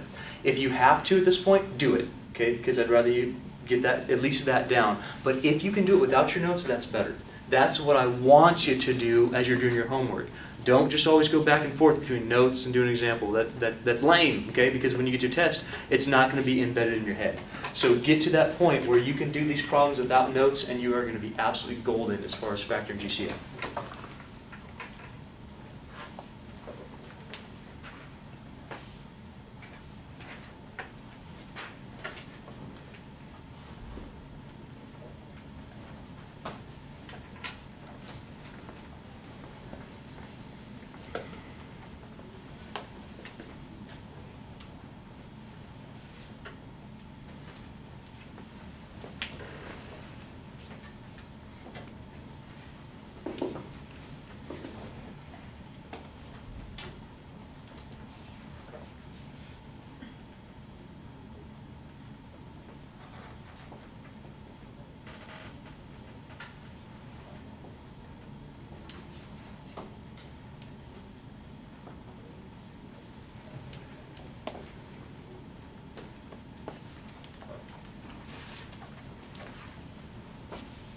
I know, right? Fractions. Are you are you fraction kidding me here? Are you fraction?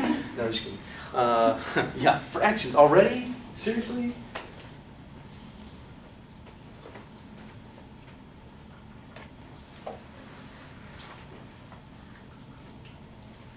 Hey, by the way, can you uh, can you check your work on all these problems? Yes. Do you have an excuse if you get these wrong? No.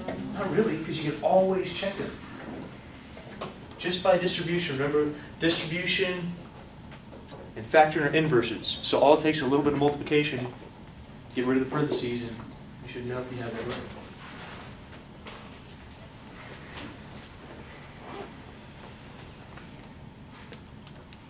Okay, if you're still working, great. Have you guys finished at least the first two of them? Okay, I'm gonna start on the first two up here. So, first one. Oh my gosh, negative 8y to the sixth plus 16y to the fourth minus 8y squared. Can you give me a number which goes into all three of those terms? Eight does. Did you all get eight? We don't want to just have two. We don't want four. We want the largest, the greatest common factor. So for us, we're going to factor out at least an eight. Uh, now, how about the variables? Are there any variables which are shared? Y the second. Yeah, don't just get the numbers. We got to have everything here. So numbers, great, eight. Variables, y to the sixth, y to the fourth, y squared. Well, the biggest one, the greatest one that goes into all of them is y squared. Y to the fourth is too much because this guy doesn't have it. y to the eighth is, y to the sixth is way too much because both of these guys don't have it. You wouldn't be able to divide by that. And if you, if you don't believe me, check this out. If you did eight y to the sixth as your GCF and started trying to divide these things, is that going to work? No. That's too small for that to, to work. Uh, that means that when you start factoring, like I showed you those steps before, you come to an impasse, and that's not a good thing. We don't want negative exponents in polynomials right now. Okay, that's really awkward. So we got 8y squared, and then we have, how many terms are going to be inside? Three. You know what? There's one other thing I want to talk about right now. Is this in order?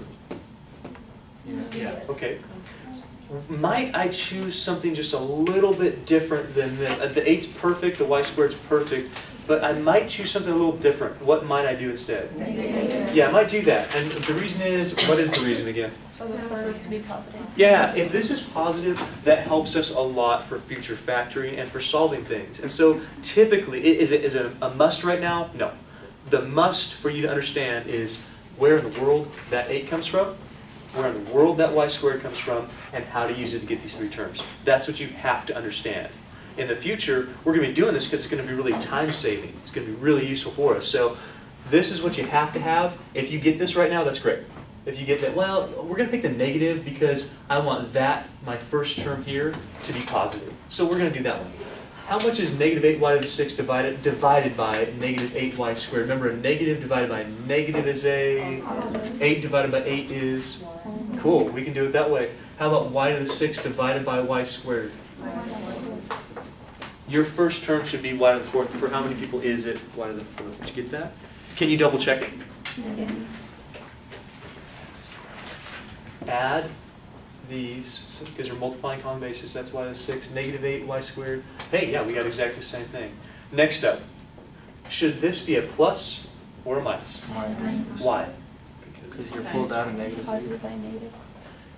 So remember, we divide term by term. Sixteen y to the fourth divided by negative eight y squared. Positive divided by a negative is a negative, that's why we have the minus. How much is sixteen divided by eight? Two. How much is y to the fourth divided by y squared? When we divide common bases, we subtract the exponents. If you have trouble doing that in your head, that is not a problem, write it out. Do not just say, man, Mr. Leonard does it in his head, so I have to. That's not true. Um, if you have trouble with this, all you gotta do is just take this sixteen y to the fourth, negative eight y squared, and then get your negative two y squared. That's where we're getting that, okay? So please do not make the mistake of thinking all this stuff has to be in your head. It's not true. Next up, uh, we're gonna do negative eight y squared divided by, how much is a negative divided by a negative? Eight y squared divided by eight y squared? One. Are these relatively prime? Yes. They have to be because that's a one. There's nothing else that's gonna go into that, so you're automatically done. You would double check that by distributing, but I'm sure you've already done that. Next one. Oh, let's find our GCF here. We, how many terms do we got? Two. What goes in, what number goes into both of those terms, what do you think? Five. I'm write the five, cool. Uh, what variable goes into both of those terms? That's your GCF. That means that we're gonna create some parentheses because we're factoring. Let's divide. Five x to the fourth divided by five, how much is five divided by five? 1. You're gonna write the one? No. It's there. How much is x to the fourth divided by x? Remember, this is x to the first, right? So when I divide by five x to the first, that's one, that's x to the third, and that way our exponents are gonna add up if I were to distribute. Okay, lastly, am I gonna have a plus or a minus here? Can someone out there explain to me why in this case I factored out the negative, but in this case I didn't? Why? Because You would create a negative on the first uh, variable if you factored out a negative. Yeah, that's exactly right. If I were to do that and to make this divide by a negative, my first term would be negative. I don't want that. This is already ordered, that's perfect. We, we like that. So factor out a positive, you're good to go. Uh, now, 20x divided by, let's do this. If you just want to write it right underneath. Second term divided by GCF. 20 divided by 5. How about x divided by x? Well, that would be 4 times 1. 4 times 1 is 4. We're just going to leave it as that 4. Show of hands if you got both those correct. Did you? Are there any questions at all before we do the next one? Did you do the next one? Yeah. It's a little weird, right? There's so much going on. Is it super hard? No. Not if you understand the GCF. It's all the same. You just got to be careful. So let's look at the GCF. I'm going to write this one out. That way, uh, that way I don't lose it. Because man, this is it's a little bit more complicated. So first thing, let's look for. Uh, oh, what do we do first? GCF. I know it's GCF. Numbers. Let's numbers. We get eight. We got twenty. We got twelve. GCF true false is two. No. False. Four. True. Okay. Eight. No. Why not eight? Because it won't go in at twelve. Or, or 20, but yeah, for sure. So 4 is going to be our GCF as far as the numbers are concerned. Now, do we have to do all the variables at once? No. You can if you're really good at it, that's cool. Uh, let's do the x's first. So I have x squared, I get x to the third, I get x, what's my GCF for my x's? X.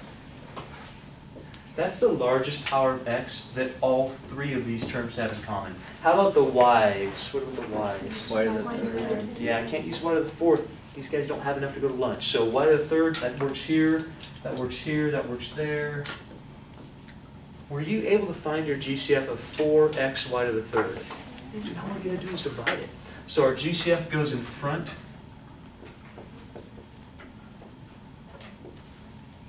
Create some parentheses. We have one, two, three terms. We're gonna end up with one, two, three terms. Um, right now, it's a, this type of a problem, because we have all these variables flying around, we really don't need it specifically in order as far as, far as exponents go, because it's not a, right now, it's not that type of polynomial that we do that with. So if this is the case, if first term is positive, just factor out a positive. That's, that's basically the idea. You guys with me on that one? So we're gonna go ahead and do that. What might be a good idea here? Should, if you if you struggle with this, would you try to do this in your head if, if that's, if you struggle with it? No. You probably write it out, okay? Or you can even do this. Do the four x y to the third. If that helps, you can put it in all three spots. That's cool too. How much is eight divided by four? Two. How much is x squared divided by x? x. How much is y to the fourth divided by y to the third? Cool, we subtract exponents every single time when we're dividing by common bases. Next up, plus or minus. Minus. Remember that we're dividing by always the same GCF. You cannot change that. 20 divided by 4, x to the third divided by x. And lastly, y third y divided by y third. Do I have to write anything here? Okay, cool. Now, almost done. Four x y to the third, twelve divided by four. So I'm gonna have that plus three. Well, the rest of it's kinda nice. X divided by x, one, y to the third divided by to the third. Cool, we just have that three, and you can certainly double check that by distribution. What I wanna know is have I explained up to this point how to use the GCF for factoring well enough for you. Raise your hand if I, if I have. Feel okay about it? Okay, now, y'all love fractions, right? No, fractions are horrible because they make things more difficult. So one thing that happens is when you're factoring, a lot of times it's really nice to factor out the fractions because that makes the rest of your problem inside your parentheses easier. So when, I'm giving you a really easy example to illustrate this. Um, it is harder if these are different numbers because you have to factor basically um, a little bit differently. Uh, and I'll show you one of those a little bit later. But for right now, if you have the same denominator, like in this case 9, look up here. Are there any numbers that go into 5 and 1 and 2? 1. Besides 1. So our GCF here, you said 1, right? 1 goes in all three? 1 not. Factor out that, that common denominator. Do that. It'll make the inside of your parentheses much, much nicer looking. Now, the vari- variable should be easy for us. Real quick, what's the GCF for variables? If we factor that, the 1 ninth x to the third, I'm going to do it really fast for you guys because I I believe that you have this kind of down. If I factor out the 1 ninth, yeah, you could do 5 ninths divided by 1 ninth. It looks kind of awful, uh, to be honest with you, but remember that all that's really going to happen in this case is you're going to multiply by the reciprocal of that fraction. Your nines are going to be gone. So when you factor out the 1 ninth, it's really the 9 that's disappearing. You're going to have the 5, x to the fifth over x to the third. Remember you subtract when you divide common bases, that's x squared. We're not taking any signs away, we're gonna have the same signs. One ninth, when I factor out one ninth, well, that's one. We'd have x, because x to the fourth over x to the third gives us x. And lastly, that's a minus, this is a minus. Two ninths divided by one ninth. All it's gonna do is remove the ninth part of that. We're gonna have two, and then we have x to the third divided by x to the third. That's gonna be, oh man, I lost half of you, didn't I? Goodness gracious. Uh, x to the third divided by x to the third is? It's one. Hopefully not zero. One. One times two, we got two. We okay with those ones? Mm-hmm. The two? If I'm, basically what I'm doing, I'm removing the one ninth from each, I'm, I'm getting rid of the fraction. So if I remove the one ninth, take, take away this idea of having the fraction one ninth, I get five. Take away the idea of having the fraction one ninth and dividing that out, I get one. Take away the one ninth, I get two. Basically just the numerators. That's all we have. Five, one, two, hey, five, one, two. That's the idea. Does that make sense to you? I know it's a quick, quick little trick, but uh, it's kind of nice. Question? Couldn't you um, also multiply each one by nine and then it would cancel out the bottom denominator? No, you can't. The only time you can ever, ever, ever multiply by a number that's not one is if you have an equation. Oh, If this were equal to zero, Then I could. if, if it's an equation, you can do almost anything you want to. As long as you do it to both sides. Oh, wait, wait, wait, wait a minute. If I don't have an equation, I don't have the idea of both sides. Does that make sense? Which means you can't just multiply whatever you want to, it'd be awesome, but you can't do that. It's a good question. You're on the right track, but you're a little bit, um, you're thinking of equations rather than expressions. Thanks for bringing that up though. Can we move on a little bit? Okay, this next part is really, really important because we're gonna be using it a lot, a lot, a lot. I like it a lot. Uh, a lot in the next few sections. What it involves is something called factoring by grouping. It's not, it's not really hard, but it can be a little confusing if you've never seen it before or if you've forgotten it, uh, because it looks a little weird. Uh, so I'm gonna introduce factoring by grouping with this one example. If you had this, so factoring by grouping. Let me, let me pretend for a second that I couldn't combine those. I know right now that 8x plus 7x is 15x. We know that, yes? Mm-hmm. Not 15x squared or something silly like that, but, but 15x. Now, let's say that what I want to do instead of combining these was I wanted to factor it. Could I factor it? Mm-hmm. Let's try this again. Could I factor? Are you with me? Yeah. What goes into, but what's the GCF of, of 8x and 7x? So if I were to factor this, I'd write the x here, correct? And then inside parentheses, I would have 8 plus 7. You all still with me? Now, let me, let me show you something about this. How many x's do you have here? How many x's do you have here? Why did these two x's become one x?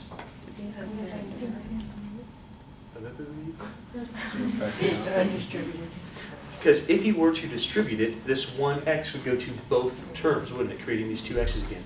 This idea right here, if you, if you understand that, factoring by grouping's easy, I swear, easy, okay? What happens is, you have two x's here, you have one x here, because we're factoring and dividing both those terms by that one single factor.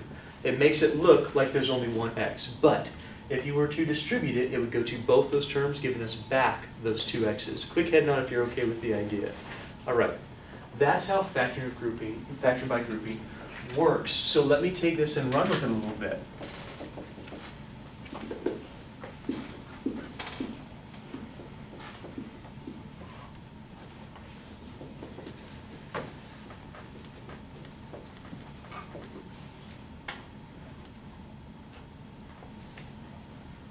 So again, these two x's become one x because when we factor from both terms, to undo that, we would distribute to both terms. You'd get those two x's back again. Now, if we look down here, yeah, it looks a lot more complicated, right? Because there's lots of stuff going on. But I want you to recognize what we're doing. You- You with me? Recognize what we're doing. How many terms do you have here? Two. How many terms do you have here? Look, you have two. This is one term, and this is one term. Yeah, they're really big fat terms. But notice how it's this and this that's separated by the plus. Do you get it? What that means is that this is one term, and this is one term. What it also means is that someone's already gone ahead and done the work for you and actually factored it. Have, you, have I lost you? Some guys are zoning out still. Gonna lose you. If you look at this, that's multiplication, yeah? We all know that. Don't distribute this, someone's already done the work. That's a factor of seven, that's a factor of x plus three. That whole thing is considered a factor here.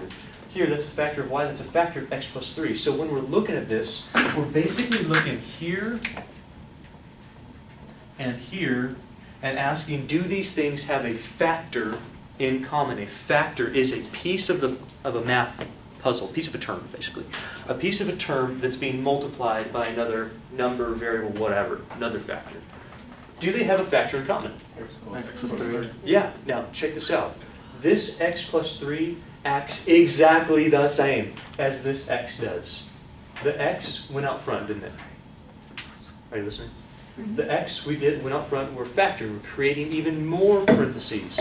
So, when I take this x and go, okay, look at, that's a factor, isn't it? It's being multiplied. That's a factor, isn't it? It's being multiplied. I take that x, I put it out front, create parentheses. This now here is my factor that is in common. It's the greatest common factor. Take that common factor and put it out front. Now, wait a minute. Does factoring destroy parentheses or create parentheses? I already had one set. I need to create another set. Factoring always creates parentheses. So if I factor this, now, now check out what happened. Look, look at the, are you guys seeing the similarity between these two problems? I drew it up, so mm-hmm. hopefully you would. If I factor out the x, the only thing that's remaining is that 8. Do you get it? Yeah. If I factor out the x, the only thing that's remaining is that 7. If I factor out my x plus 3, that's the factor they have in common.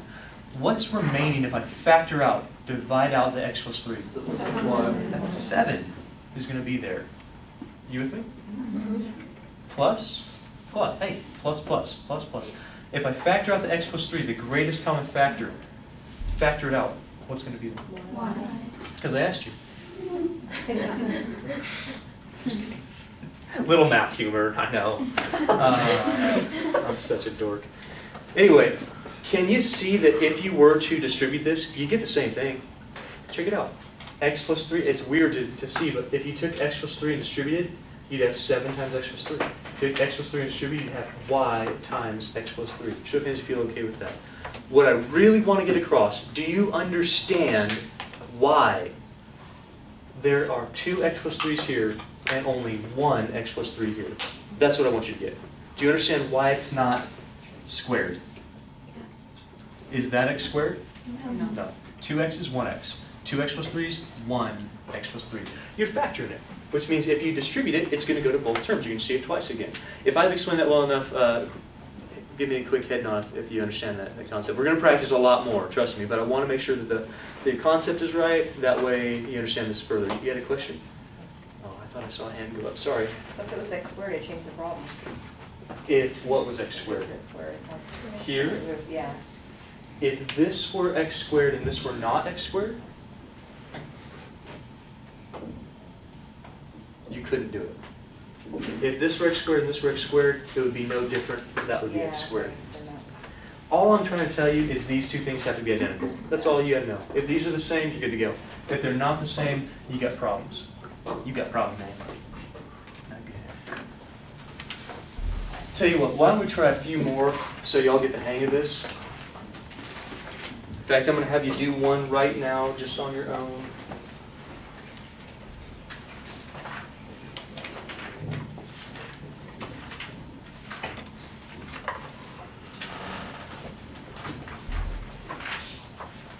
I'm gonna kind of lead you through this, but you're gonna do all the work here. The first thing I want you to look for, how many terms do I have? Two. Big terms, yeah, they're really big terms. Do those two terms have any factors, remember factors have to be contained in parentheses, uh, do they have any factors in common? Yes. What factors? Okay, so write that y minus one in front. Did you get it? How many y minus ones should you have right now? Because you're factoring, it's coming out of both. Next, you're going to, factor, factoring always creates parentheses, always. Create another set of parentheses. Did you do that already? Yes. So, you say, uh, where'd it go? Two terms, one, two. Anything in common? Yeah, common factors, what we're looking for. Common factors have to be in parentheses or be multiplied. So y minus one is the common factor. That's what we did before, right? Wrote the GCF first. Now, if I divide by y minus one, you can do it here. If I divide by y minus one, well, those would go away. You would get simply x. Why? Well, because you're, you're factoring, you're dividing out that y minus one. It's going from both terms, that's great. Uh, oh, 13 y minus 1 divided by y minus 1. What's going to happen? Minus, minus 13, 13. Factoring always creates another set of parentheses, and that's our answer. Could you check your work? Just distribute it, that's the idea.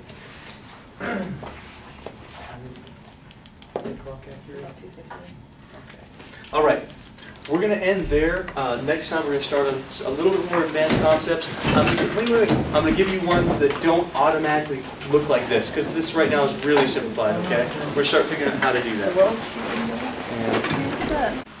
All right, so we're going to continue our journey through factory. And what we were discovering was that uh, when we have a GCF, the greatest common factor, it doesn't necessarily mean that it's just one number or one variable. Uh, it, it could be an entire factor in parentheses, and that's what this factoring by grouping does for us. It says, you know what, even if you have something like this, where this is one large term and this is another term separated by that minus, even if you have these two terms, we're still looking for factors. And factors are really anything that's grouped together that's being multiplied by the re- remaining part of that term. So, for instance, this right here, that's a factor, and that's a factor of these one, two large terms. And factoring by grouping, I know we did this last time, but it's kind of a refresher. Factoring by grouping says we can factor as long as those two things are exactly the same. Watch your foot, please.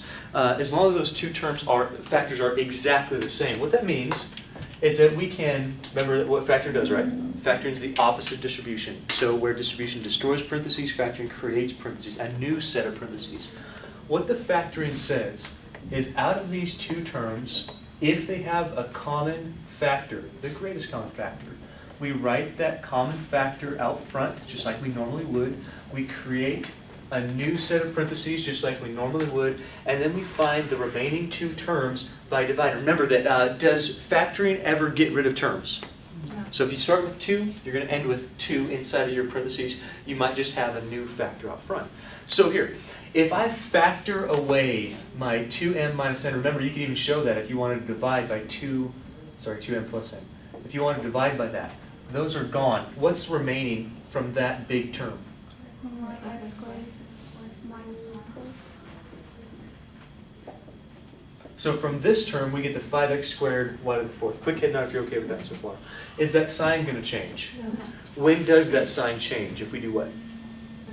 Mhm. So here's, so going to be minus. We do the same thing here. Now, wait a minute.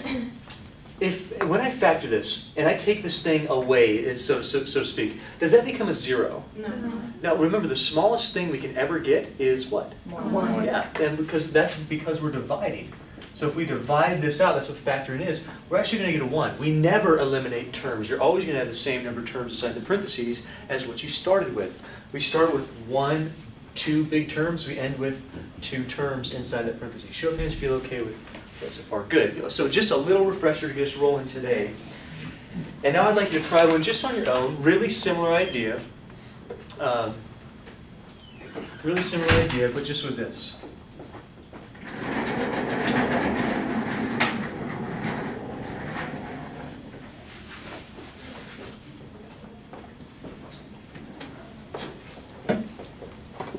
Go for it. So I want you to, I want you to verify how many terms are there first. Just look at the number of terms that you have. Remember, terms are those big pieces separated by pluses and or minuses. Then what I want you to look for inside those terms, do they share a common factor? If they do, factor that factor out. So put that in front around parentheses, create a new set of parentheses, and then divide to figure out what those new terms are going to be.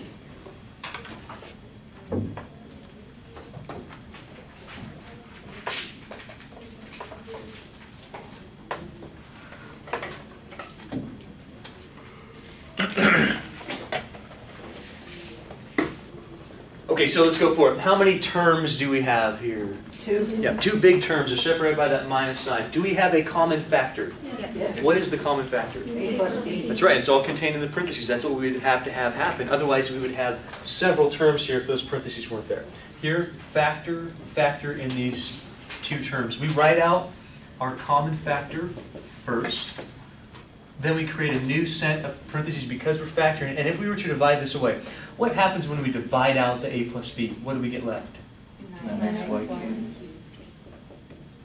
Minus doesn't change. What do we get here again? One. Yep, we're dividing this, so a plus b divided by a plus b gives us our 1, and we're done. Show of hands if you, if you got that one by yourself. That's really good. Now we're going to make the jump. Uh, right here, this has basically been kind of done for you. The first step has been done for you. You don't know it yet because we haven't talked about factoring by grouping in its whole.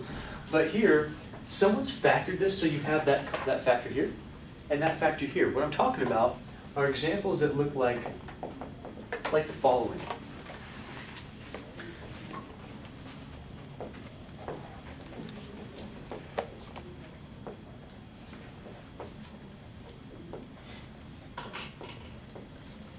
Let's look at that example together. The first thing I want you to notice is the number of terms that we have. How many terms do we have here? Four. Yeah, there's four terms. That's different than before, right? Over here we had, we had two terms. Here we got, we got four terms. Now, I don't want you to ever miss this, ever. First thing you do whenever you're factoring, you always, always look for a GCF if there is one. Always, I don't care what you're doing, you always look for that. Is that clear? Mm-hmm. No matter what other factor I teach you about, always look for the GCF. So, we're gonna look for it. Does this have a GCF? Remember, you gotta consider all four of these terms. Does it have a GCF? No. No. But that's what we check for first. Now, if it had a GCF, great, you'd factor it out. If it doesn't, we gotta consider something else, something else to do. In this class, if there's four terms and you're asked to factor, practically the only thing we can do with that is try to factor by grouping. So here's how you factor by grouping. You organize these terms so that the first two terms have a common factor, and the last two terms have a common factor. What that means is that sometimes, I'll show you this right now.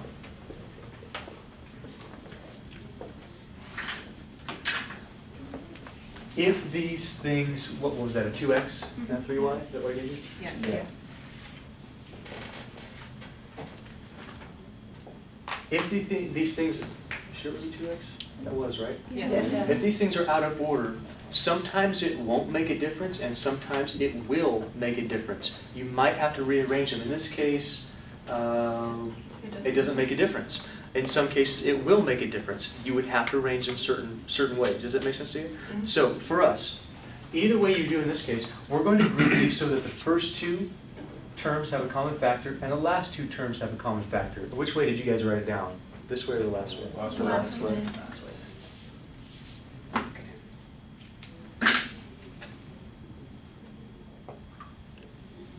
Right? Two X. Two X. Two X. Two at the very Yeah. bottom backward.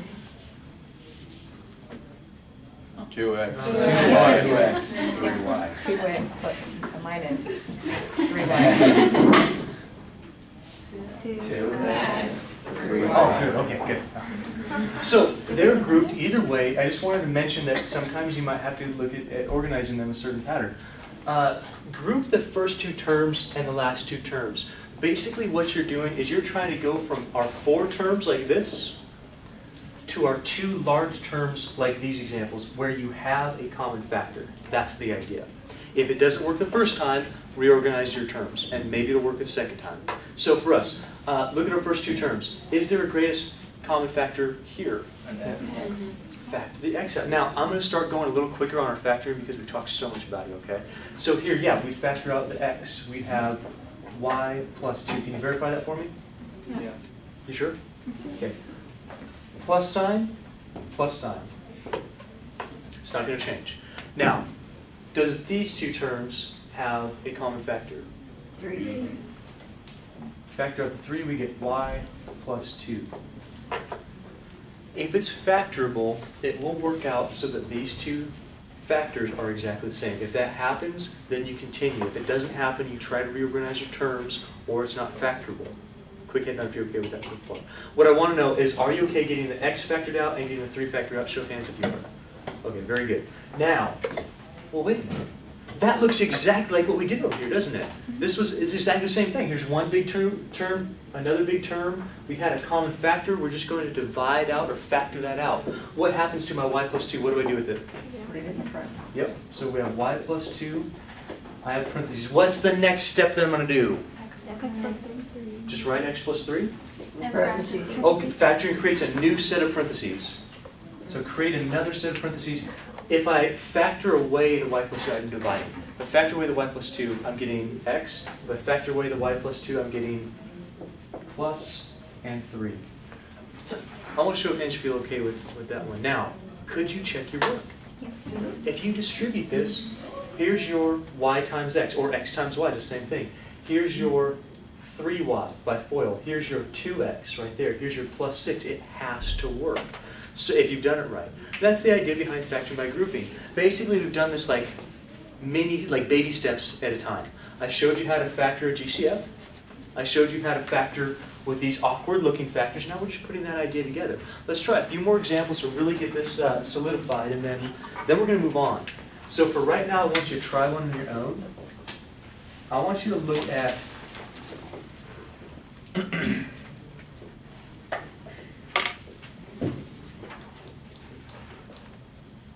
at this. Here's the thought process for going through these. The first thing you do, you look at all your terms and you see if you have a GCF. Because if you do, you need to factor that out first. So factor a GCF if you have one for all the terms. If you don't have a GCF, look at the number of terms that you have.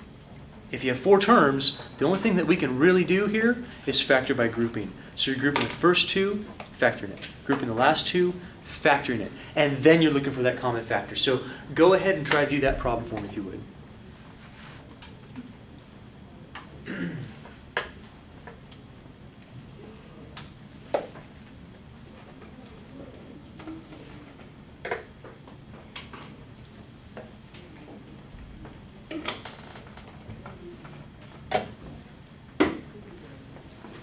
Okay, so, uh, first thing, left side people, does this have a GCF for all four terms? What do you think? No.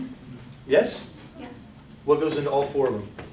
Oh, no, not for all four. Okay, but- so that's the first thing we check for is for all four of them, does it have a GCF? Because you gotta do that first. If it doesn't, then we start looking at other, other options. Does that make sense to you? Don't ever discount the GCF. It's really important uh, to look for all four of them at once. And then if it doesn't have one, then we start breaking this up. Does the first two terms, does the first two terms have a GCF there? Yes. What is it? X. If we factor out the x, we divide it away, we get y. Remember factoring creates parentheses. Divide out the x, we get 4. Good to go. Keep the plus. Here, we have another factor that these two have in common. We have a 7. And if we factor that out, we get a y plus 4. We could double check our work if we wanted to, but that's the only way to factor these, term, these two terms and the only way to factor these two terms. Quick head nod if you got that far on your own. At this point, this is really nice. Now we've changed four terms into two new terms. And then we continue. We look for a common factor within those two terms. So it's kind of doing like these two finding common factors and then another two terms finding common factors. Question? There's two ways to do it. If you do the xy plus seven y, it does the same thing. It does the same thing, that's right. Sometimes that's going to work. Uh, it does here, and you can see that 2 times 3 equals 6, so no matter what way I have this organized, 4 times 7 gives you 28. It's going to work for you, sometimes it won't. So, if we continue to factor, can we continue to factor? Yes. How do you know? Because it has common. What if this was different than that? Would you be able to continue? No, you So if that's a plus and that's a minus, would you be able to do it? No. That's a problem. So here we factor out the y plus 4. If we factor out the y plus 4 from this large term, what's remaining? X. If we factor out the y plus 4 from this large term, what's remaining? Plus seven. Good. I like the, how you said the plus 7. Right. Could you check your work? Yes. Yeah. I'm not going to do it, but just FOIL that out. It's got to be exactly the same as what you started with. Now let's try a couple more. I want to really make this stick in your head here. Let's do. Uh, let's do this one.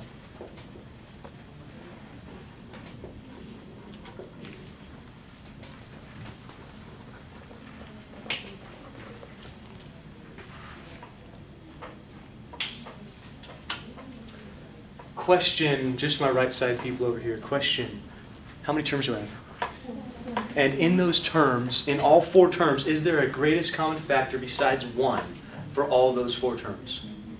Anything go into all four of them besides one? Okay, we check for it first, but no, not in this case. So now that we have these four terms, what's the next logical step? If we don't have a GCF, what should we be trying if we have four terms? What should we try? Can you combine those? Are they like terms? Okay, no. So I'm trying to factor here. If I don't have a greatest common factor and I have four terms, the only thing we can do in this class is factor by grouping. So two terms, GCF or some, some very specific types of factor I'm going to tell you later. Three terms, we'll talk about that in maybe about 10 minutes. Okay, four terms, GCF, but then grouping. It's all about factor by grouping. Because if you don't, if you don't have the GCF, the only thing that we can do is factor by grouping. So I'm gonna ask you one more time. Uh, with four terms, what's the only type of factoring that we do in this class? Grouping. Yep, I want you to try grouping. So we're going to group the first two, and we're going to group the last two. Hey, uh, tell me something, left side people. What goes into both 3a squared and 4ab? What's the, the A. GCF there? Hey, you're right. And when we factor that out, 3a squared, when I divide out 1a, what do I get? Three A plus four Remember, I know I'm going faster right now. You can always write this out. Don't be afraid to do this and say, oh, he's factoring out the a. So 3a squared divided by a gives him 3a. That's how we're getting that. Do you remember that from last time? Mm-hmm. So don't be afraid to write that out. Okay, let's continue. How about 4ab when I divide out that a? What do I get? 4b. And I'm gonna get a plus between there. Quick head nod if you're okay with, with that one. Now, this is a little, this is a little weird though. Wait a minute, over here. Uh, we have three A plus four B. Three A plus four, what goes into both three A and four B? One, nothing. Nothing besides? One. If you have two terms which are automatically relatively prime, do you remember that word? We're using it a little loosely because we have variables here, but the idea is the same. Where these two terms have only the factor one, when that's the case, write down the one, force it to factor by one. I, I promise it'll help you a little bit. So if we write down the one and factor this, we still have three A plus four B. I want you to verify that for me that that's still the same. Mm-hmm. Is that okay with you? For some of you, if you don't like the one, that's fine. If it does not factor, you can also just put parentheses around it, just like that. The reason it, that why we do the one is because sometimes people have, people struggle with this. If you, if you notice this, that problem is exactly the same as this problem, except instead of a minus, you get a plus. Do you guys see what I'm talking about? Mm-hmm. So some people struggle that, well, why doesn't that just appear, disappear? Why is that a, why is that a one? Well, you can always put a one out front. So if you divide by this, you automatically get one. For some people, this really helps to say the only thing that divides into these is one. That way, when I factor out my greatest common factor here and here, we don't forget that we create parentheses and we'll have an A and we'll have that one. Quick show of hands if you, if you feel okay with that one. Do you need to put the one there? No. Not really. Um, you can if you want to, I'm not gonna get concerned about it. Uh, It's just kind of a little helpful hint, so you don't forget that it doesn't go to nothing, okay? Because a lot of people confuse factoring with, I'm completely getting rid of it. That's not what's happening, we're dividing here. Make sense? Okay. Let's try just, uh, just one more together. I'm gonna give you a couple to do on your own, and then, uh, then we'll be about done with this section.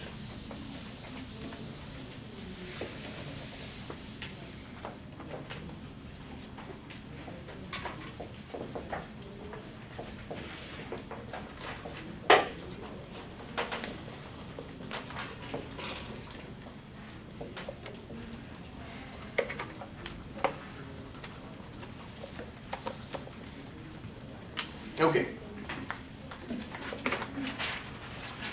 You know what? I'd like you guys to help me with this one. I want you to tell me what I, I know how to do this stuff. I want to make sure you know how to do it. So tell me what my first step should be. When I factor, no matter what, all the time with factoring, I'm always checking for what first? Very good. And how many terms does this have? Four. Is there a GCF besides one that goes into all four of these terms? No. Okay, so, but we check first. Never ignore that. Now, we have four terms. Okay, hey, if there's no GCF in four terms, and you can't combine them, what do we use to factor it? Factor grouping. Grouping, that's right. Let's group them. We group the first two. We group the last two. Okay, we're on a roll. Now what do we do? After I've grouped the first two and the last two, what's my next step? Factor Factor what? each group. Okay, so we're going to look at the first two terms and see if we can find a GCF just with those two terms. And then the last two terms and do the same exact thing. So, uh, first two terms, can you find me something that goes into just these two terms? What? Because I asked you. Oh, I used that joke already, didn't I? Yeah. Dang it. Oh, I'm unoriginal now. Factoring creates parentheses. What's remaining when I fact, remember factoring just means divide, okay, we're just dividing. Two X plus five. Two X. Okay, I like the two x, what's the rest of it? 5y. Five y, very good. If I factor out or divide one y from this y squared, I get one y left over. Quick head nod if you're okay with it so far. Now, the next part of this is really important. This is where a lot of students make mistakes, okay? It's all about negatives. Um, Whenever you have a minus that is separating your two groupings, this factor by grouping, whenever you have a minus, what this is gonna do is going to force you to factor out a negative. You have no other choice. So what that means, you write down the minus, because it's a minus, you can't change that. What number goes into both four x and minus ten, or ten, four x and Two. ten y? Two. So because that's a minus, it is going to force you to factor out not just two, but negative two. What that's do, Change your sign. it's gonna change your signs. So do you, do you guys see what I'm talking about, the negative two up there? Mm-hmm. We always know that numbers go with the sign right in front of them. So right here, when we're factoring out two, not really. We're factoring out negative two because of that minus. So when you do this, when you find out your terms, please don't just divide by two. You need to divide by, if that's a negative, divide by negative two. Nod your head if you understood that. Okay, so let's do it. What's, uh, what's negative four x? Remember, we always go with the sign in front. What's negative four x divided by negative two? Two X. Positive two x, isn't it?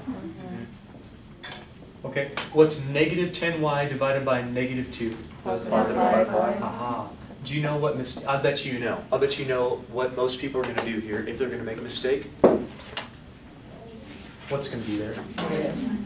Mr. Leonard's method don't work with crap, man.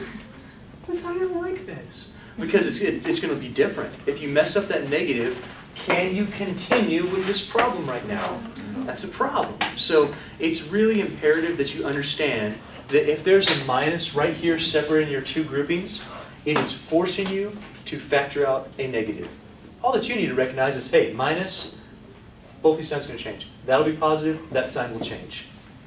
Plus, just like that. And what that's gonna do is make this at least doable for you. Show of hands if you understand the, the idea there. It might take some practice to get used to the idea of that minus means factor out a negative every time. If it's a plus, don't worry about it. Just factor out the positive, it's all good. So now that we have this, oh man, we got one big term, we got two big terms. Do you see a common factor in there? Yes. Let's write our common factor first. If we remove that common factor by division, i.e. we're factoring, if we remove it, we have a y. If we remove it, we have a minus two, and we're completely factored, and that's nice. What I'd like you to do right now is I'm I'm gonna have you try two of them, okay? Uh, I'll be walking around, if you need help, now would be the time to ask. So let's put one right here.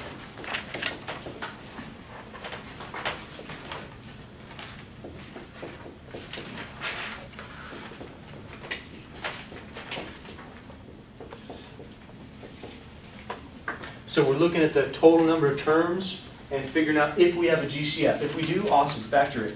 If we don't have that, then we count the number of terms. And if there's four of them, we have to factor by grouping right now.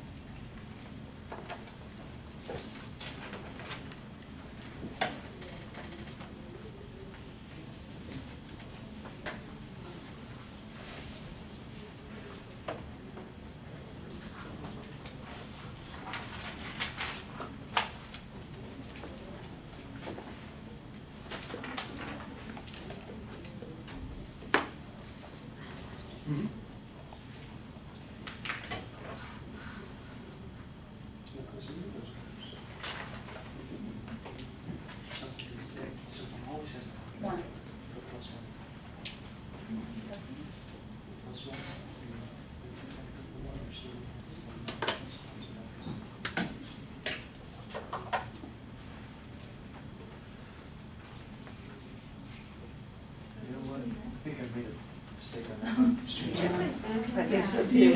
What, you guys can't figure that out? Come on. Well, it's gonna be easier. That's next, right? I mean, I tested you, you passed, congratulations.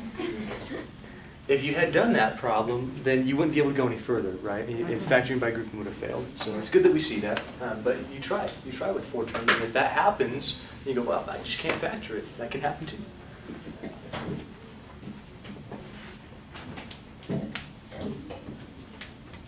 Okay, so I'm assuming that since you're working on that one, that you guys finished up this one, is that true? Okay, I'm going to go through it a little bit quickly since we should have this idea pretty much down at this point. So we look for greatest common factor. They go, well, x is here, y is here, uh, nothing for all three of them. So I'm going to factor by grouping because I have four terms. I look here, I see a factor of y. That's the GCF for these two terms. Factor means create parentheses. That means divide out that greatest common factor. So we get our 2x, we get our plus 3y. We never lose a term. We always have the same number of terms here. That minus is going to force me to factor out a negative something. Now, the only number that goes into both these two terms is what? One. That's right. I can put the 1 if I want to. I don't have to put the 1. But what I do have to do is somehow make parentheses. Now, if you're going to factor out negative 1, basically, I like putting the 1 because it reminds me that I'm going to have something down here, not just nothing. So if I factor out the negative 1, all that's going to do is change this sign to a positive 2x and change this sign to a plus 3y. And you can verify that really quick. If I take my negative 1 and multiply, negative 2x, negative 1 and multiply, minus 3y. So we know we have it right. Now we look at it, hey, two large terms, a common factor. We write our common factor first. We create some parentheses. If we remove by division, eh, factoring, if we factor this out, we have a y from that term. If we factor this out, we have a minus 1, and that's the correct factorization. Did you guys get that one? Same thing happens over here, it's just a little bit different because we haven't seen this larger variable here. No GCF, but we do have a larger greatest common factor than we normally have. What goes into both those terms? You gotta factor out the x squared. You have to do the greatest common factor, not just x, but you have to do the greatest common factor. It's important for you guys to see that. So if we factor out that x squared, we actually get a 7x by division. x cubed divided by x squared is x, plus 5x squared divided by x squared is 5. If you don't do that, it's going to look like these things are different, okay? you got to have the GCF. Now, next one. This is one of those cases where only one goes into 7x and 5. So at this point, you can put plus and just put parentheses there. 7x plus 5 if you want to. Because only one goes into it. If that looks fine to you, do that. Uh, if you think, if you want to do like I do, is go, well, I want the 1 there. That way when I factor this, it reminds me that I have an x squared, oh, and I have a plus 1, and I don't lose any of those factors. Have I explained this well enough for y'all to understand it? Okay, cool. I'm going to give you two cases where uh, this might throw you for, for a loop a little bit uh, if you're not really careful. I'll show you how to deal with those, okay? So first one.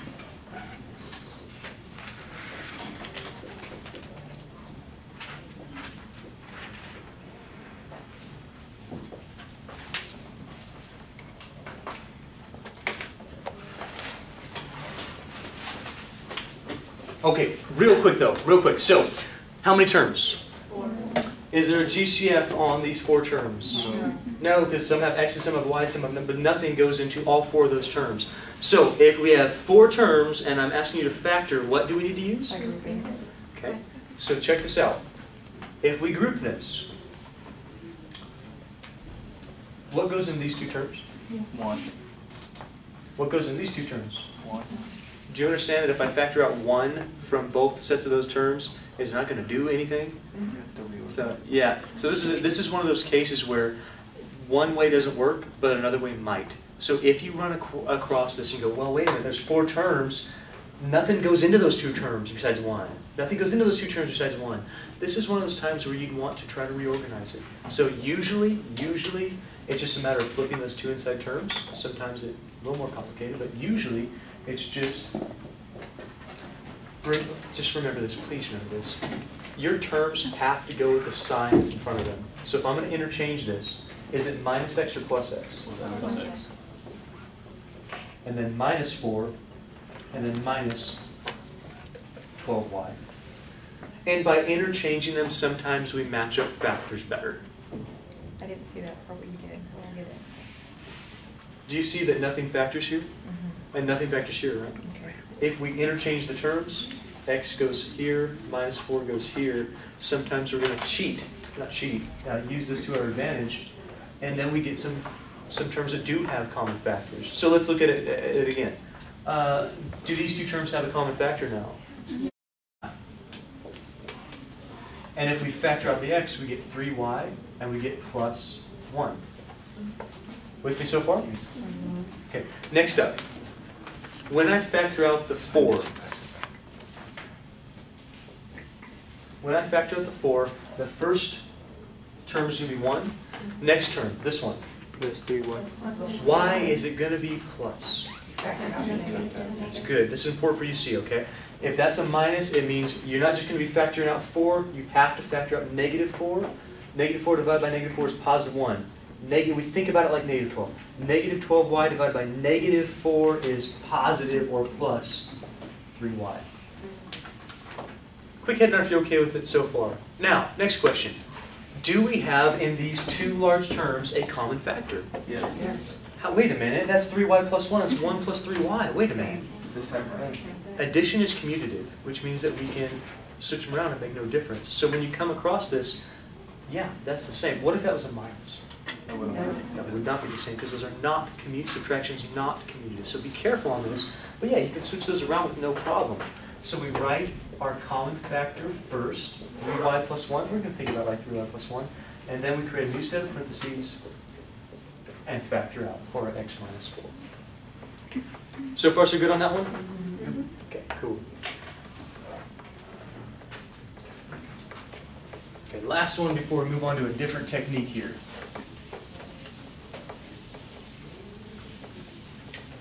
By the way, the reason why, if you have noticed, it's taken us a long time to go over this, the reason why we covered GCF to this extent and grouping to this extent is because you use GCF for all factoring. It's always going to be there. And then we also use factoring by grouping in one of our techniques later on. And so we're, we're always kind of relying on these two, two things. Question? Uh, you mentioned like terms earlier. Will we ever encounter like terms while factoring? You're, it's going to be assumed that when you get something to factor, it's already been combined like terms. So, like in our problems, we're always combining like terms first and then we're factoring. Okay. Okay. So yeah, you look for that. Uh, so when I say four terms, it's kind of implied that they're four non-like terms.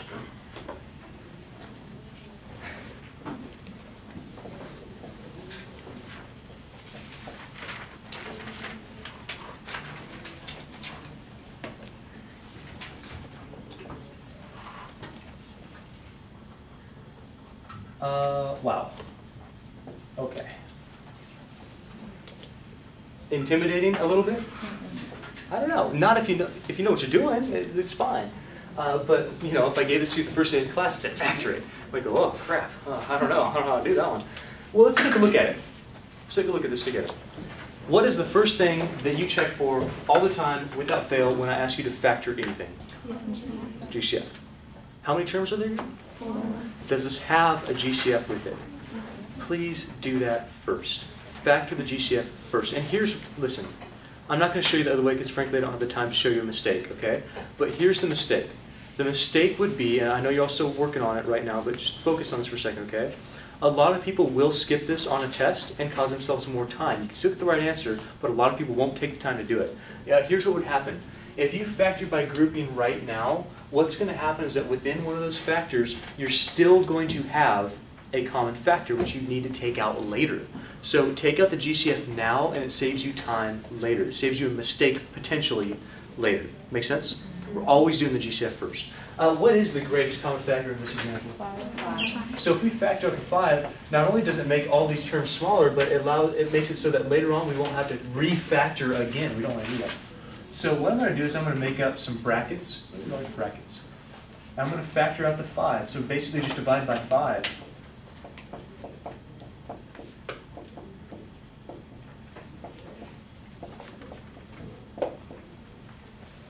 I want to know if you're okay with that so far. Okay, next step. Is it true that this has no greatest common factor? Yes. We've already done it. So it can't have another greatest common factor. We've already done that. How many terms do we have still? Four. Factoring never destroys terms. So now we can go ahead and do our factoring by grouping. So we look here and we look here. Just keep that five floating out front. Don't, don't lose it, but you really don't have to work with it right now. So if we factor, let's look at the first two. Is there anything that goes into both 3xy and 3yz? We're looking for the GCF for just these two terms because we're grouping right now. Three, five. And if we factor out the 3y, remember divided by 3y, what's remaining for this term? X. Say what? X. C. X plus, x plus, uh, yeah, like in the 3y, we're factoring that away. What is it? X plus z. Perfect. Can you verify that for me real quick, people, that we, uh, we factor the 3y, we get x plus z, yes, no? Yeah. We've already taken care of the 5, so we don't need to worry about that. Now, next one. Is there anything that goes into both xz and minus z squared? Z, negative Z. Oh, okay, so that minus, that really drops down for us and says if you have z that goes into both these, it's forcing you to factor a negative z. So if we're forced to factor a negative z, let's do that together. Uh, everybody together. What's going to remain here after we factor out a negative z? Positive X. I like how you said positive x, that's great. And somebody else who didn't speak just now, if we have a negative z and we're factoring out a minus z or a negative z, what goes here? Positive Z. Why does the sign change, please? Because you pulled out a negative on it. You factor with a negative. That's right. Negative uh, divided by negative is positive. We're factoring out that negative. Did it work? Can you see that we made the right move here? This is great. We have two large terms. We've got a common factor. We're going to keep the 5, but it doesn't really do much. We put a bracket. We're going to factor this x plus z and put it first. Factoring always creates another set of parentheses. If we factor away the x plus z, we get 3y. If we factor away the x plus z, we get minus z. Oh, we're good to go. I need to show of hands if you feel okay with, with that one.